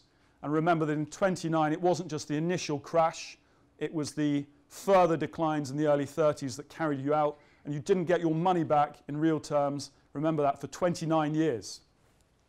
So that brings us to the present. We've done a compare and contrast to two of the great financial crises. And by the way, to the list of crises that Jacob offered earlier, for those that are interested, I would add the 1914 London financial crisis before the First World War. That is the biggest financial crisis to hit the London market ever. It makes 2008 look like a walk in the park. You want to see big stimulus from the state, look at 1914. So, where are we today? This in blue is the US economy, GDP for the last 30 years. In green is the net worth of US households financial assets, real estate, stocks, bonds, pensions, you name it, it's in there. Now, that's a pretty good proxy for financial valuations in the markets. And over the long run, what would you expect? You'd expect that financial assets derive their value from the real world, right? So you plot those lines back to the Second World War, and they track each other very closely. What starts happening in the last 30 years is that we get these credit booms and busts. Interest rates are too low. People take out money. What do they do with the money? Just like the credit expansion in the 20s, it goes into speculation. What do you speculate on? You speculate on assets. Then it pops, you go back down, you cut rates to a new low because you've got to provide additional stimulus, you blow a bigger bubble. And our guess is that we're now in the middle of an everything bubble and that those jaws are going to close at some point in the future. And to explain just how extreme the distortions wrought by the stimulus that was so effective in preventing a Great Depression, but potentially so dangerous in terms of the effects down the line actually are, we're looking at corporate credit to GDP in America. So effectively, all you have to understand about this is that the higher the blue line goes, the more debt US companies are carrying versus the size of the economy, and the higher, generally speaking, the risk is to people lending to those companies. Now, the green line shows you the extra income, the extra yield you get as an investor for holding that riskier debt. So Finance 101, you take more risk, you should get what? More return, right? So that's what happens historically. The risk goes up on the blue line, the green line goes up as well. What's happened in zero interest rates is complete inversion of the most basic rule of finance. Your risk has rocketed, but your returns have gone down. That is completely extraordinary. And the reason is that when you can't get any income on your cash, what are you going to do? You're going to go out and buy anything that gives you a bit of a return. And through that mechanism, the spillover effect ensures that all financial assets in the system are distorted. Now, this stimulus has had other effects. It's always the case, or almost always the case, that financial assets do better in an economic boom time than the real economy, wages and the like. This time it's been turbocharged because quantitative easing and zero rates are particularly good for the holders of assets already. And that has contributed, amongst other factors, to political instability within the Western world. We could list globalization's hollowing out effects on traditional industries and communities. We could talk about the spillover effects from the debt crisis in 2008. We can talk about mass migration and other concerns, all sorts of things going in here. But as a result, we see the stimulus response feeding through into a set of problems that still have to be dealt with. Internationally, the situation looks much more precarious than it has done for a very long time. I hear you asking, Alex, what on earth is a map of the contiguous land empires of the year 1700 got to do with 1929, 2019, and 2009? The answer is that the benign 30 years I talked about earlier, that's encompassed both dot com and 2008 and the spectacular, rec- spectacular recovery since, has been underwritten by geopolitical peace, unipolarity, American power, Western dominance. This is completely atypical in history, right? And as ancient great civilizations come into their own again, they have different ideas about how things should be done. The world's becoming more unstable. We see a new Cold War between China and America. The table's in flux and it's all to play for. We see tariffs. This is what Yvonne was talking about earlier on, very important. We've seen a washing machine, the lowly washing machine, 20% more expensive than 18 months ago if you're a US consumer. Trump undermining the independence of the Federal Reserve. Now, this is really important because in 1929, the big problem was the central bank didn't want to do anything, and it was limited anyway because on the gold standards, they had to have 40% gold backing the currency in circulation. So the Fed didn't do much and get a lot of the stick rightly for not doing so. 2008, 2009, the central bank took masses of action, but now interest rates are incredibly low. And it's difficult to get the same level of stimulus if we find ourselves back in the proverbial muck.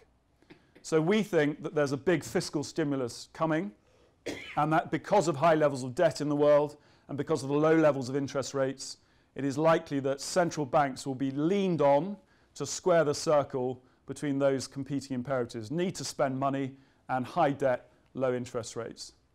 So Claudio Borio, this is um, a, a, head honcho at the Bank of International Settlements. That's like the central banker's central bank. Imagine what the uh, levels of banter are there. we heard earlier on about the risk of a Minsky moment. Minsky, stability breeds instability, and this is what Borio is channeling. There are few things more insidious in markets than the illusion of permanent calm. We've had 30 years where even when you've had big crashes, everything's gone up. And people forget that in 29, you had a big crash, then it went down more, and you didn't get your money back in real terms for 30 years. And that's what we see here 30 years of US stock gains, US bonds. I said earlier you could have fine wine, art, classic cars, UK property. Asset managers have felt like geniuses in this era. It's been almost impossible not to make money. And of course, the long term decline in inflation and interest rates off the back of things like China's re engagement with the global economy, off the back of the end of the Cold War, of technology and a demographic boom are hugely important. But what tends to happen is that when things have been going in a particular direction for a long period of time, people assume it'll go on forever. Let's think about Irving Fisher just before 1929's crash, with the immortal prediction that valuations of stocks had reached a new and permanent high egg on face. So here we are today, 2019. These are US stock valuations in green since the 1880s, and interest rates in the US in blue. The lower the interest rate goes, of course, the higher the bond goes because there's an inverse relationship between price and yield. And what you'll spot is that the cyclically adjusted ratio for US stocks, which is the jargony way of saying long term valuation measure, has only ever been higher at the peak of 1929 and the peak of dot com. And the problem, if you're people that want to preserve capital, is that your traditional offset, government bonds, are also incredibly expensive. You could have bought a 10 year UK government bond, benchmark issue before 2008, it pays you 5% income. You've got capital appreciation potential on top as well. Today it pays less than a fifth of that. So you're getting below inflation income, and there's not much room for capital appreciation either. You've got to feel pretty lucky. And as a result, with rates so low and the kind of stimulus we saw in 2008 more difficult, we think that this big fiscal blitz is coming. It's got to go into the real economy uh, rather than being locked up in the financial system. If you want to know why dumping that 21 trillion of printed money into the economy didn't generate real world inflation, although it generated a lot of asset price inflation, part of the story is that it got locked up on the balance sheets of the financial system. So money gets poured onto the bank balance sheets, they're repairing them, so they stop lending. And that's very typical after a crash. It happened in 1929. It's one of the reasons we had the disaster of the Great Depression. Banks got very conservative. They stopped lending. That reduced consumption and investment in the rest of the economy, and you get a self-fulfilling circle. So these are some of the things we think that money will be spent on in the next crisis precisely because we can't have exactly the same kind of response that worked so well in 2008 on the back of the lessons Bernanke observed from 1929. So the big question, of course, is how should you think about protecting yourself in this world that's changing so quickly with high asset price valuations, huge amounts of debt. It doesn't take a rocket scientist to work out that if you've had a big debt crisis, you don't solve it by taking more debt. That's exactly what's happened. You reduce interest rates, what are people going to do? Money's cheap, they're going to take it out, they're going to put it into assets, the credit bubble and the asset bubble are going to go up, and eventually it comes back down to earth. So we've got all sorts of different things. We've got options that are like insurance contracts to protect us from market wipeout. We've got gold. We've got index linked bonds. They're inflation protected government securities. We think conventionals will really suffer. Once this fiscal stimulus works, it works its way through, you're going to find inflation ticking up, but rates will have to stay very low.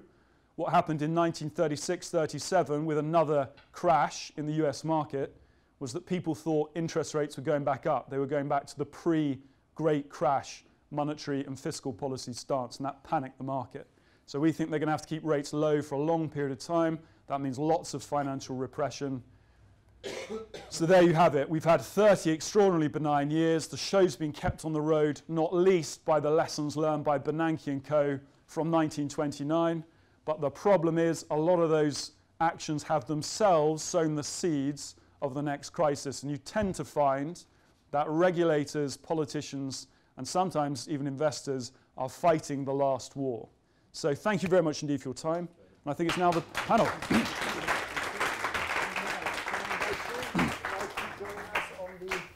ah, Ian and ah, yeah. Thank you. Now you can destroy everything I've said.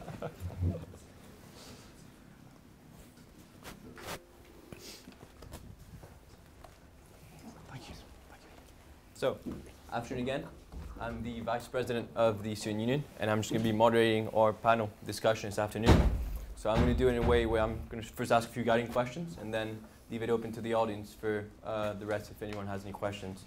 So the first question I have for our panel uh, would be, we've established that, uh, and, and, Jacob in your papers, that speculation uh, had a significant, significant impact um, and influence on the events of 1929 how do we feel that the role of speculation uh, plays today in the markets today, um, and what would be the impact of it on in the future? Do you want to start? Perhaps Ian, you want to say something about speculation? Sure. Um, you have some mics. Well, we've gone back to 1929. You can actually go back to the Persian times, the Greek times, the Roman times. Uh, it's always the same. Um, uh, uh, and Alex has just put it very clearly. what happens is you get a benign world, uh, people get confident, people borrow money, people buy assets, the value of the assets go up and up and up. Everyone then says it's a new paradigm, and then at some point it all comes crashing down. It's, it's, it's gone on throughout history. Um, and, and, the other point that Alex picked up at the end, which I think is true, that um, it, it, um, it always catches us unaware. And the reason it catches us unaware, even though 95% of the ingredients are exactly the same, is because it's like the Maginot Line uh, that they built after the First World War to stop the Germans coming through, and the Germans just looked for the weak part, and they found it and they went through in the Ardennes. And um, so if you're ready to get hit in the face and you put on something on the front of your head, next time they'll come and hit you in the back of the head. Um, so all your defenses are fine, they just won't work because it's coming from another way. That's why we never get it. Now, speculation is usually at the heart of this. Why? Uh, Pre 1929, as we heard, you could borrow and leverage to ridiculous levels. And if you think back to the property crash in the UK, um, you could often borrow 110% of the money of a property. Then after the crash, it got very difficult, and now it's getting easier again. All the signs are that speculation which is essentially borrowing money you don't own, leveraging it up, and then what happens is the margin call comes. And when the margin call comes, this is the problem of the cash flow versus the balance sheet. So the balance sheet can be trillions, but if you haven't got the cash, then you can't sell those assets in a fire sale for anything other than virtually nothing. And that's always the reality clash. Speculation is not the total cause, it's the state of psychology of investors in the market, of which I am certainly one. And like all the rest of them, I am susceptible to that same psychology, although occasionally I listen to distinguished academics and, and practitioners and I go, maybe it's time to get out. So, actually, just, just another quick word. The reality of my life today. I'm, I'm a, an upmarket, glass half full type of person. On the other hand, I have a farm it is wired off. It's got an electric fence. I have CCTV. I have my own solar panel electrical supply. I have my own water supply. I have my own food and vegetables. I have a gun. I'm ex army and I'm pretty tough, and that's possibly the way I may have to go. But that is my Armageddon, and I have cash gold, gold, physical gold. Because believe me, the value of a Bitcoin on a web system that's crashed or a dollar bill that no one trusts is something I'd be suspicious of. So if you like the extremity of one part of my life, that's it. Uh, Alex, Thank you want to say something? I'm not sure what I can add to that. My, my, my, my Armageddon planning is not unfortunately as advanced as Ian's, but I, I'm, I'm a glass half empty guy, so that makes me feel I should have at least two electric fences, really. Um, I think what I'd want to add, I think that nails the, the speculation element today, it's just to double down on this point about the coercive effect of low interest rates on absolutely everything. So effectively what's happened is that like Ian's Maginot Line example where the Germans just went round the outside of the line, last time the crisis was mainly in the banks. Next time round it's going to be asset management industry. Um, one of the big developments in the last 10 years has been that there's been a huge growth in passive tracker vehicles. So people think, oh, it's nice and cheap. I can get the amazing performance of the stock market, which is jacked up on steroids provided by the central banks. Uh, really low fee. It just tracks the market, goes up forever. Um, and as people have got more and more desperate for income, they've bought riskier and riskier assets, which are fundamentally illiquid. So rather like a bank account, a bank system works because not everyone wants to take their money out at the same time. That's true of huge numbers of these funds. And we're going to discover, when the proverbial does hit the fan again, that the funds you think you can get out, like Ian's point about huge markdowns in a fire sale, you're not going to be able to sell for love nor money. So we know of credit funds, the corporate debt I was talking about in the presentation, where it promises T plus one settlement. That means you sell it, you get your money back the next day, but whose underlying assets take 21 days to sell, even in benign market conditions. There's a fundamental mismatch between people's expectations and reality, and that creates conditions for panic. So, panic is the flip side of the coin of speculation, and it's going to happen. Thank you, Alex. Maybe um, we're going to ask, take a few questions from the audience now, um, and then we'll finish up with the last question about regions. But does anyone have any particular questions they'd like to ask? Um, yeah, sure. Perhaps we start with Patricia and then with you. I don't know how we do this. I think. Yeah, it's working. Uh,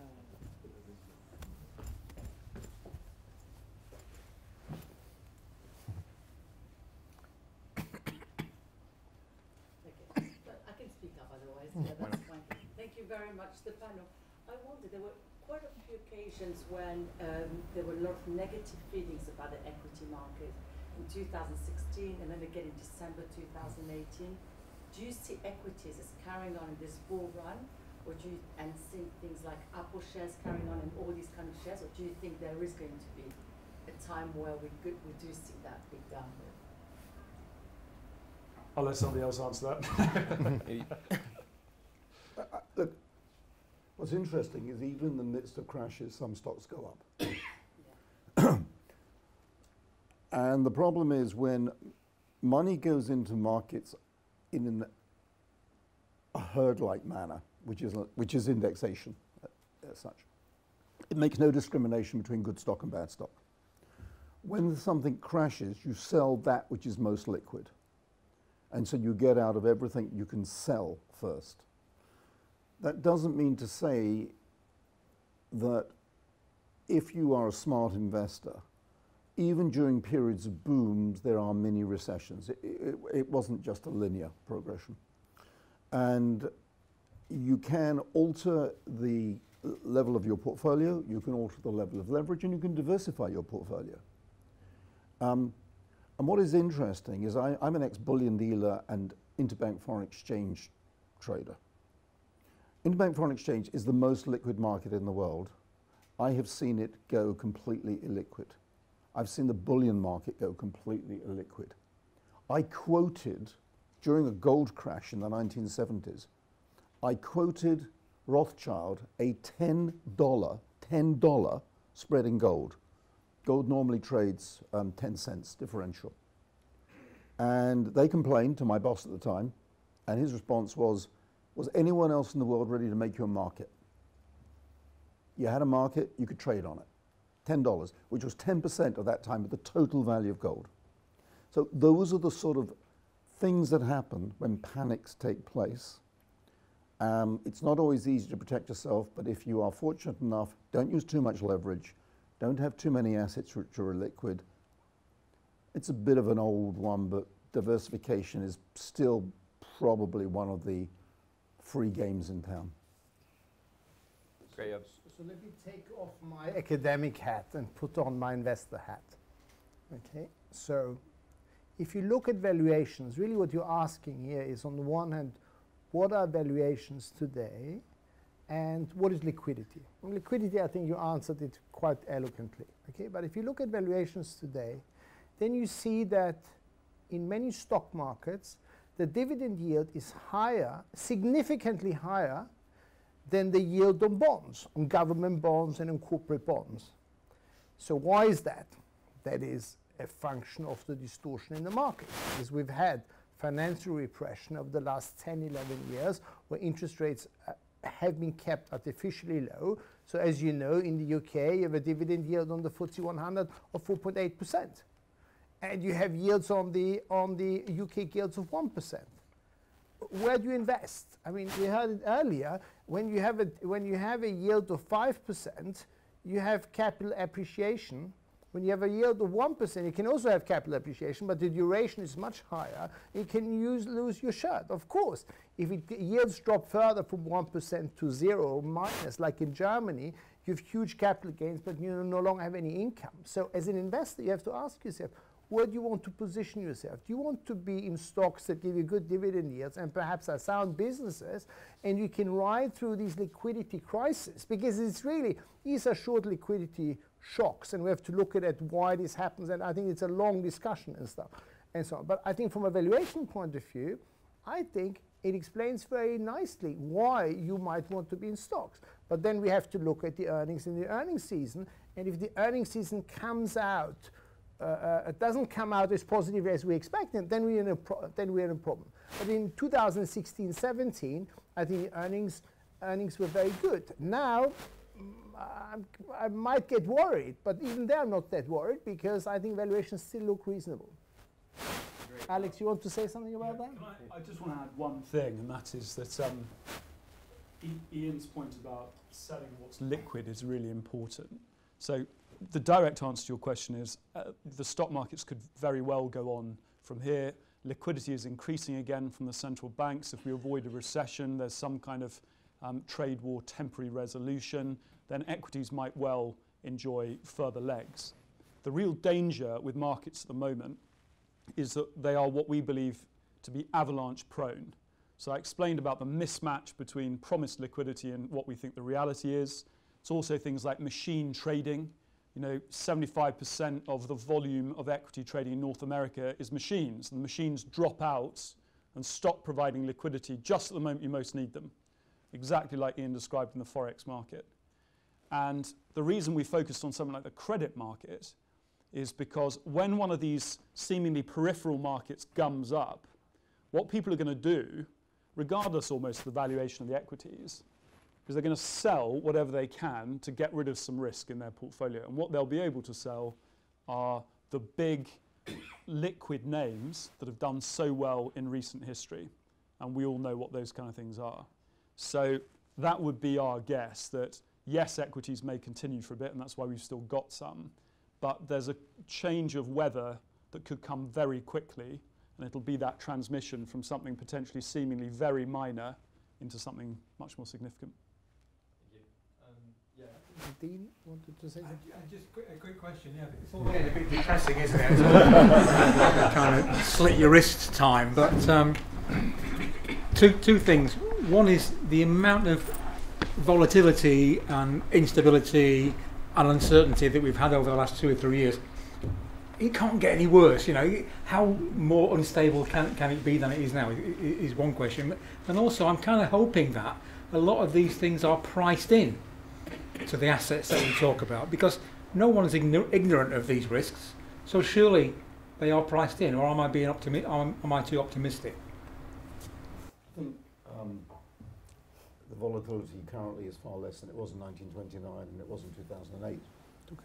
and you can trade volatility. There, there are indexes you can trade volatility, so you can protect yourself with a hedge on actually on the volatility itself. Uh, but the, the uh, volatility is a, is a two-edged sword. Uh, you can make money on it, but eventually it all heads in one direction at certain times, and then most people lose. I mean, I mean, let's get real. If we have a serious crash, yeah, a few smart people are going to make a lot of money on the short side. The bulk of people's um, savings will be destroyed. And what is most important and this was brought out in some of the other presentations, is the political consequences. And we have a situation where the differential in assets and earnings of the rich relative to the average is unsustainable. And believe me, I'm no socialist. I'm pretty right wing. It's unsustainable, particularly in the United States. And the main issue I have with this is where people get paid differential amounts employed, not entrepreneurially made. so I have a serious issue when somebody works for a company and gets a salary in multi, multi millions and bonuses in multi, multi millions, where the differential is too huge. That is going to and does cause social problems. And the repercussions of that, when magnified by a generic crash, could be very, very serious in terms of extreme simplistic parties coming to power.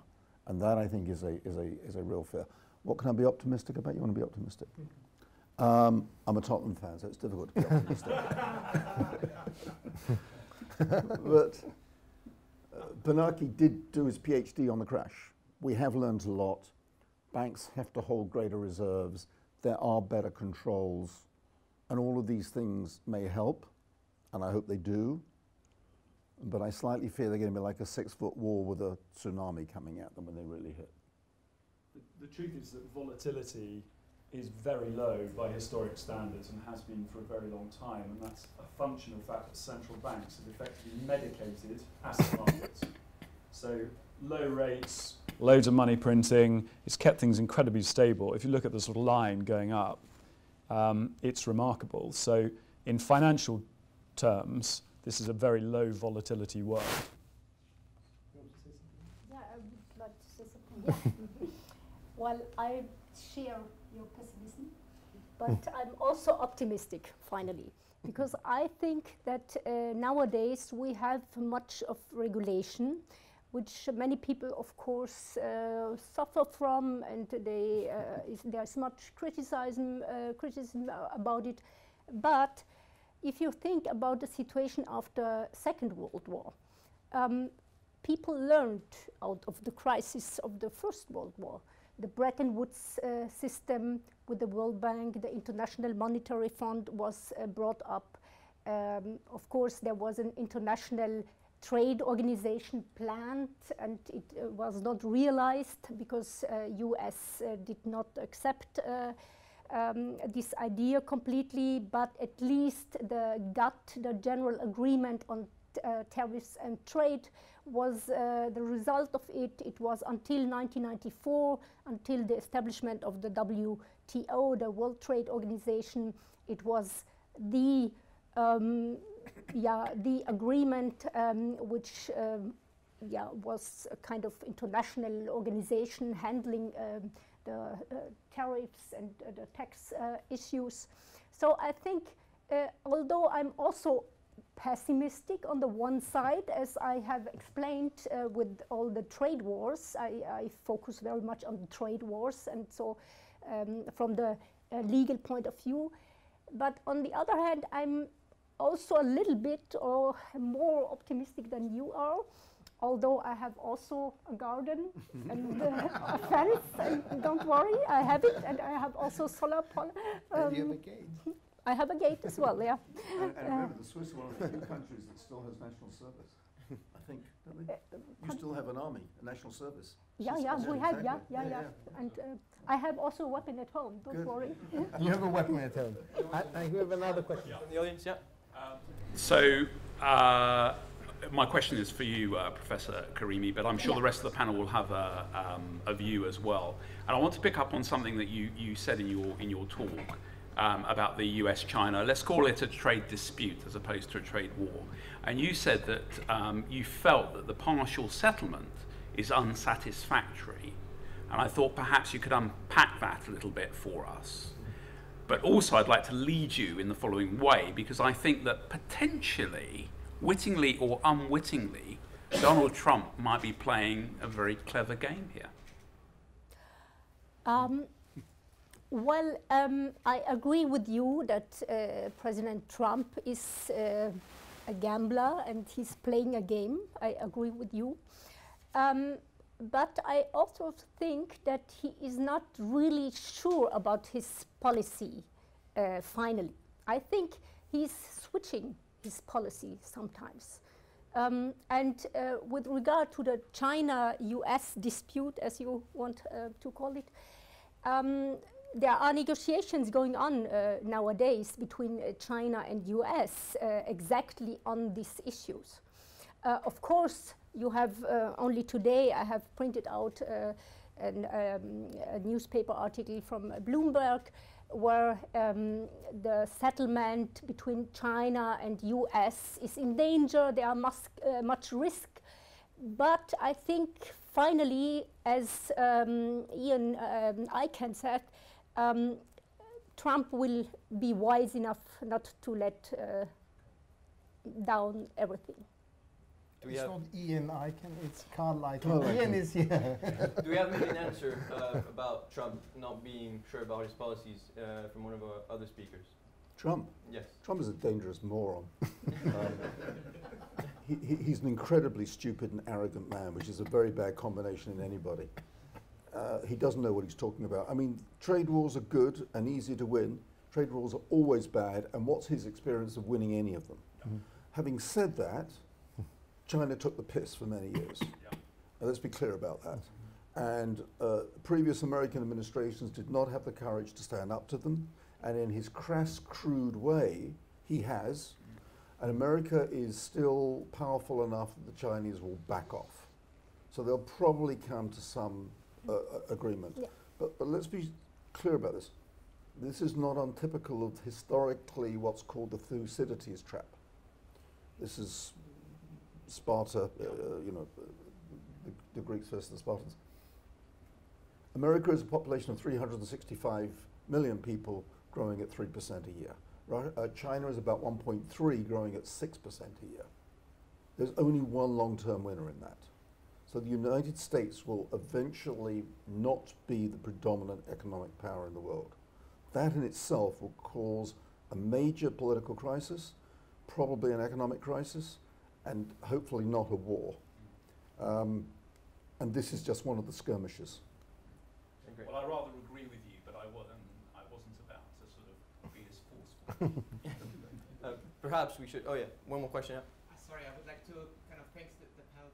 Was super interesting so far. I would like to gauge your opinion a little bit on, on this uh, topic of machine trading. Yeah. So, um, is this? Do you see this more as a a chance of kind of ruling out kind of the psychological behavioral side of humans, yeah, who you know make snap decisions and follow the herd, and you know we, we know Rob Shiller's work on you know the animal spirits and you know uh, behavioral economics, um, or is this a danger that the machines then rule us and push us into a recession we don't actually want, and we could we can't plug the plug as fast enough? Yeah? Crudely speaking, you, you can trade based on a fundamental analysis of all the data or on the movement of markets and prices by some algorithmic uh, methodology. And the, the jury is out as to which is better at which time. So that's fundamental trading uh, versus index or, or machine trading. the difficulty with machine trading, it doesn't think. And when a large volume of money follows it, ironically, it creates arbitrage for the fundamental trader to, to take advantage. But machines themselves and the algorithms are created by humans. So, so to a certain extent, they're, they're, they're not, they're full of bias and prejudice, and they will do, they create a false sense of liquidity which will disappear when we have an extreme situation in markets. So I don't think they are the cause themselves, but I think they could be a catalyst when we have a problem. They also exacerbate things in a spectacular way. Um, there's some work recently done by Peter Thiel's team that suggests that once you go over 50% of the market controlled by machine index trading, everything in that category, that becomes the principal driver of the market. It's not um, the active managers who have sway, it's the machines directing money after everything. And what I was talking about was the way that there are different phases in history. We've been in a particularly benign one in financial terms. Machines are not going to have any idea that tomorrow we go into a radically new world of fiscal spending, populism, high taxation, certain industries getting battered. There will always be space for human beings with that kind of editorial control. Great. Let me tell you a joke. Can I tell you a joke? so remember when we had the crisis with the Greek economy? So there's a story of middle of the afternoon, Greek guy and his wife and family and friends turn up at a restaurant, order the best food, order the best wine, have a great time. Seven o'clock in the evening, German guy turns up, spent all, all day at work, hardworking, orders some bread, orders some water. Comes the bill, and the Greek guy said, send it to him. it's a joke, okay. Well, it's good that we just for the latter part of, of this panel, maybe it's actually it's good that you mentioned Greece just now because we've obviously talked about the United States uh, for now a lot, but what do we see uh, maybe um, similarities between the United States and maybe Europe? And do we feel that there are any particular areas which are more vulnerable to a new crash?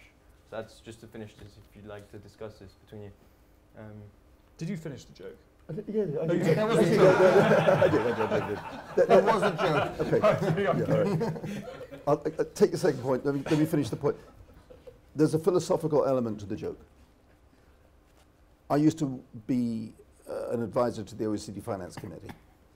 And um, I can remember the Germans sent, as they do, they sent people from their central bank and their treasury. And their view is, because they've got a memory of the crisis of 29, because remember, it hurt them more than anyone else in the end. Strong currency, and you don't leverage, and you don't borrow, and you don't do all the things you can't afford. And that's their view. And the Greeks were wasteful, helped by Goldman Sachs, leveraged everything, and they should not be bailed out. And I said to them, What happened to you? And you mentioned before, what happened to you in Versailles? You can't take an economy, take away a big chunk of its industrial capacity, reduce it by 25%, and then make it pay back the same debt. So you may not like it, but if you want to help those economies grow, the point being that we all have different perspectives of other people's problems from our own position. The quick question to your other thing is it always happens further and faster in the United States. Europe is slower, Europe is not integrated, Europe only has one financial centre of relevance, which is London. um, still, um, Germany and France are a joke in terms of financial centres.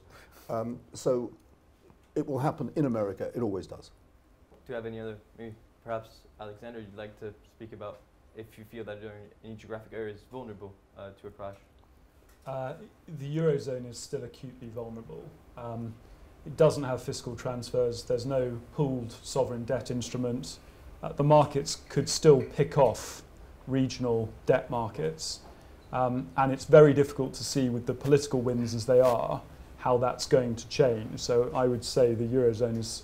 Um, I usually show a slide with magazine covers, for example, from 1979 Business Week saying the death of equities, just before the biggest bull run in history kicks off. Um, and it's usually when everyone assumes something's certain and rock solid that it's the moment of near disaster. Draghi said recently the Eurozone uh, business complete, effectively, it's rock solid. I wouldn't be so sure. Do we have any other pertinent questions? No?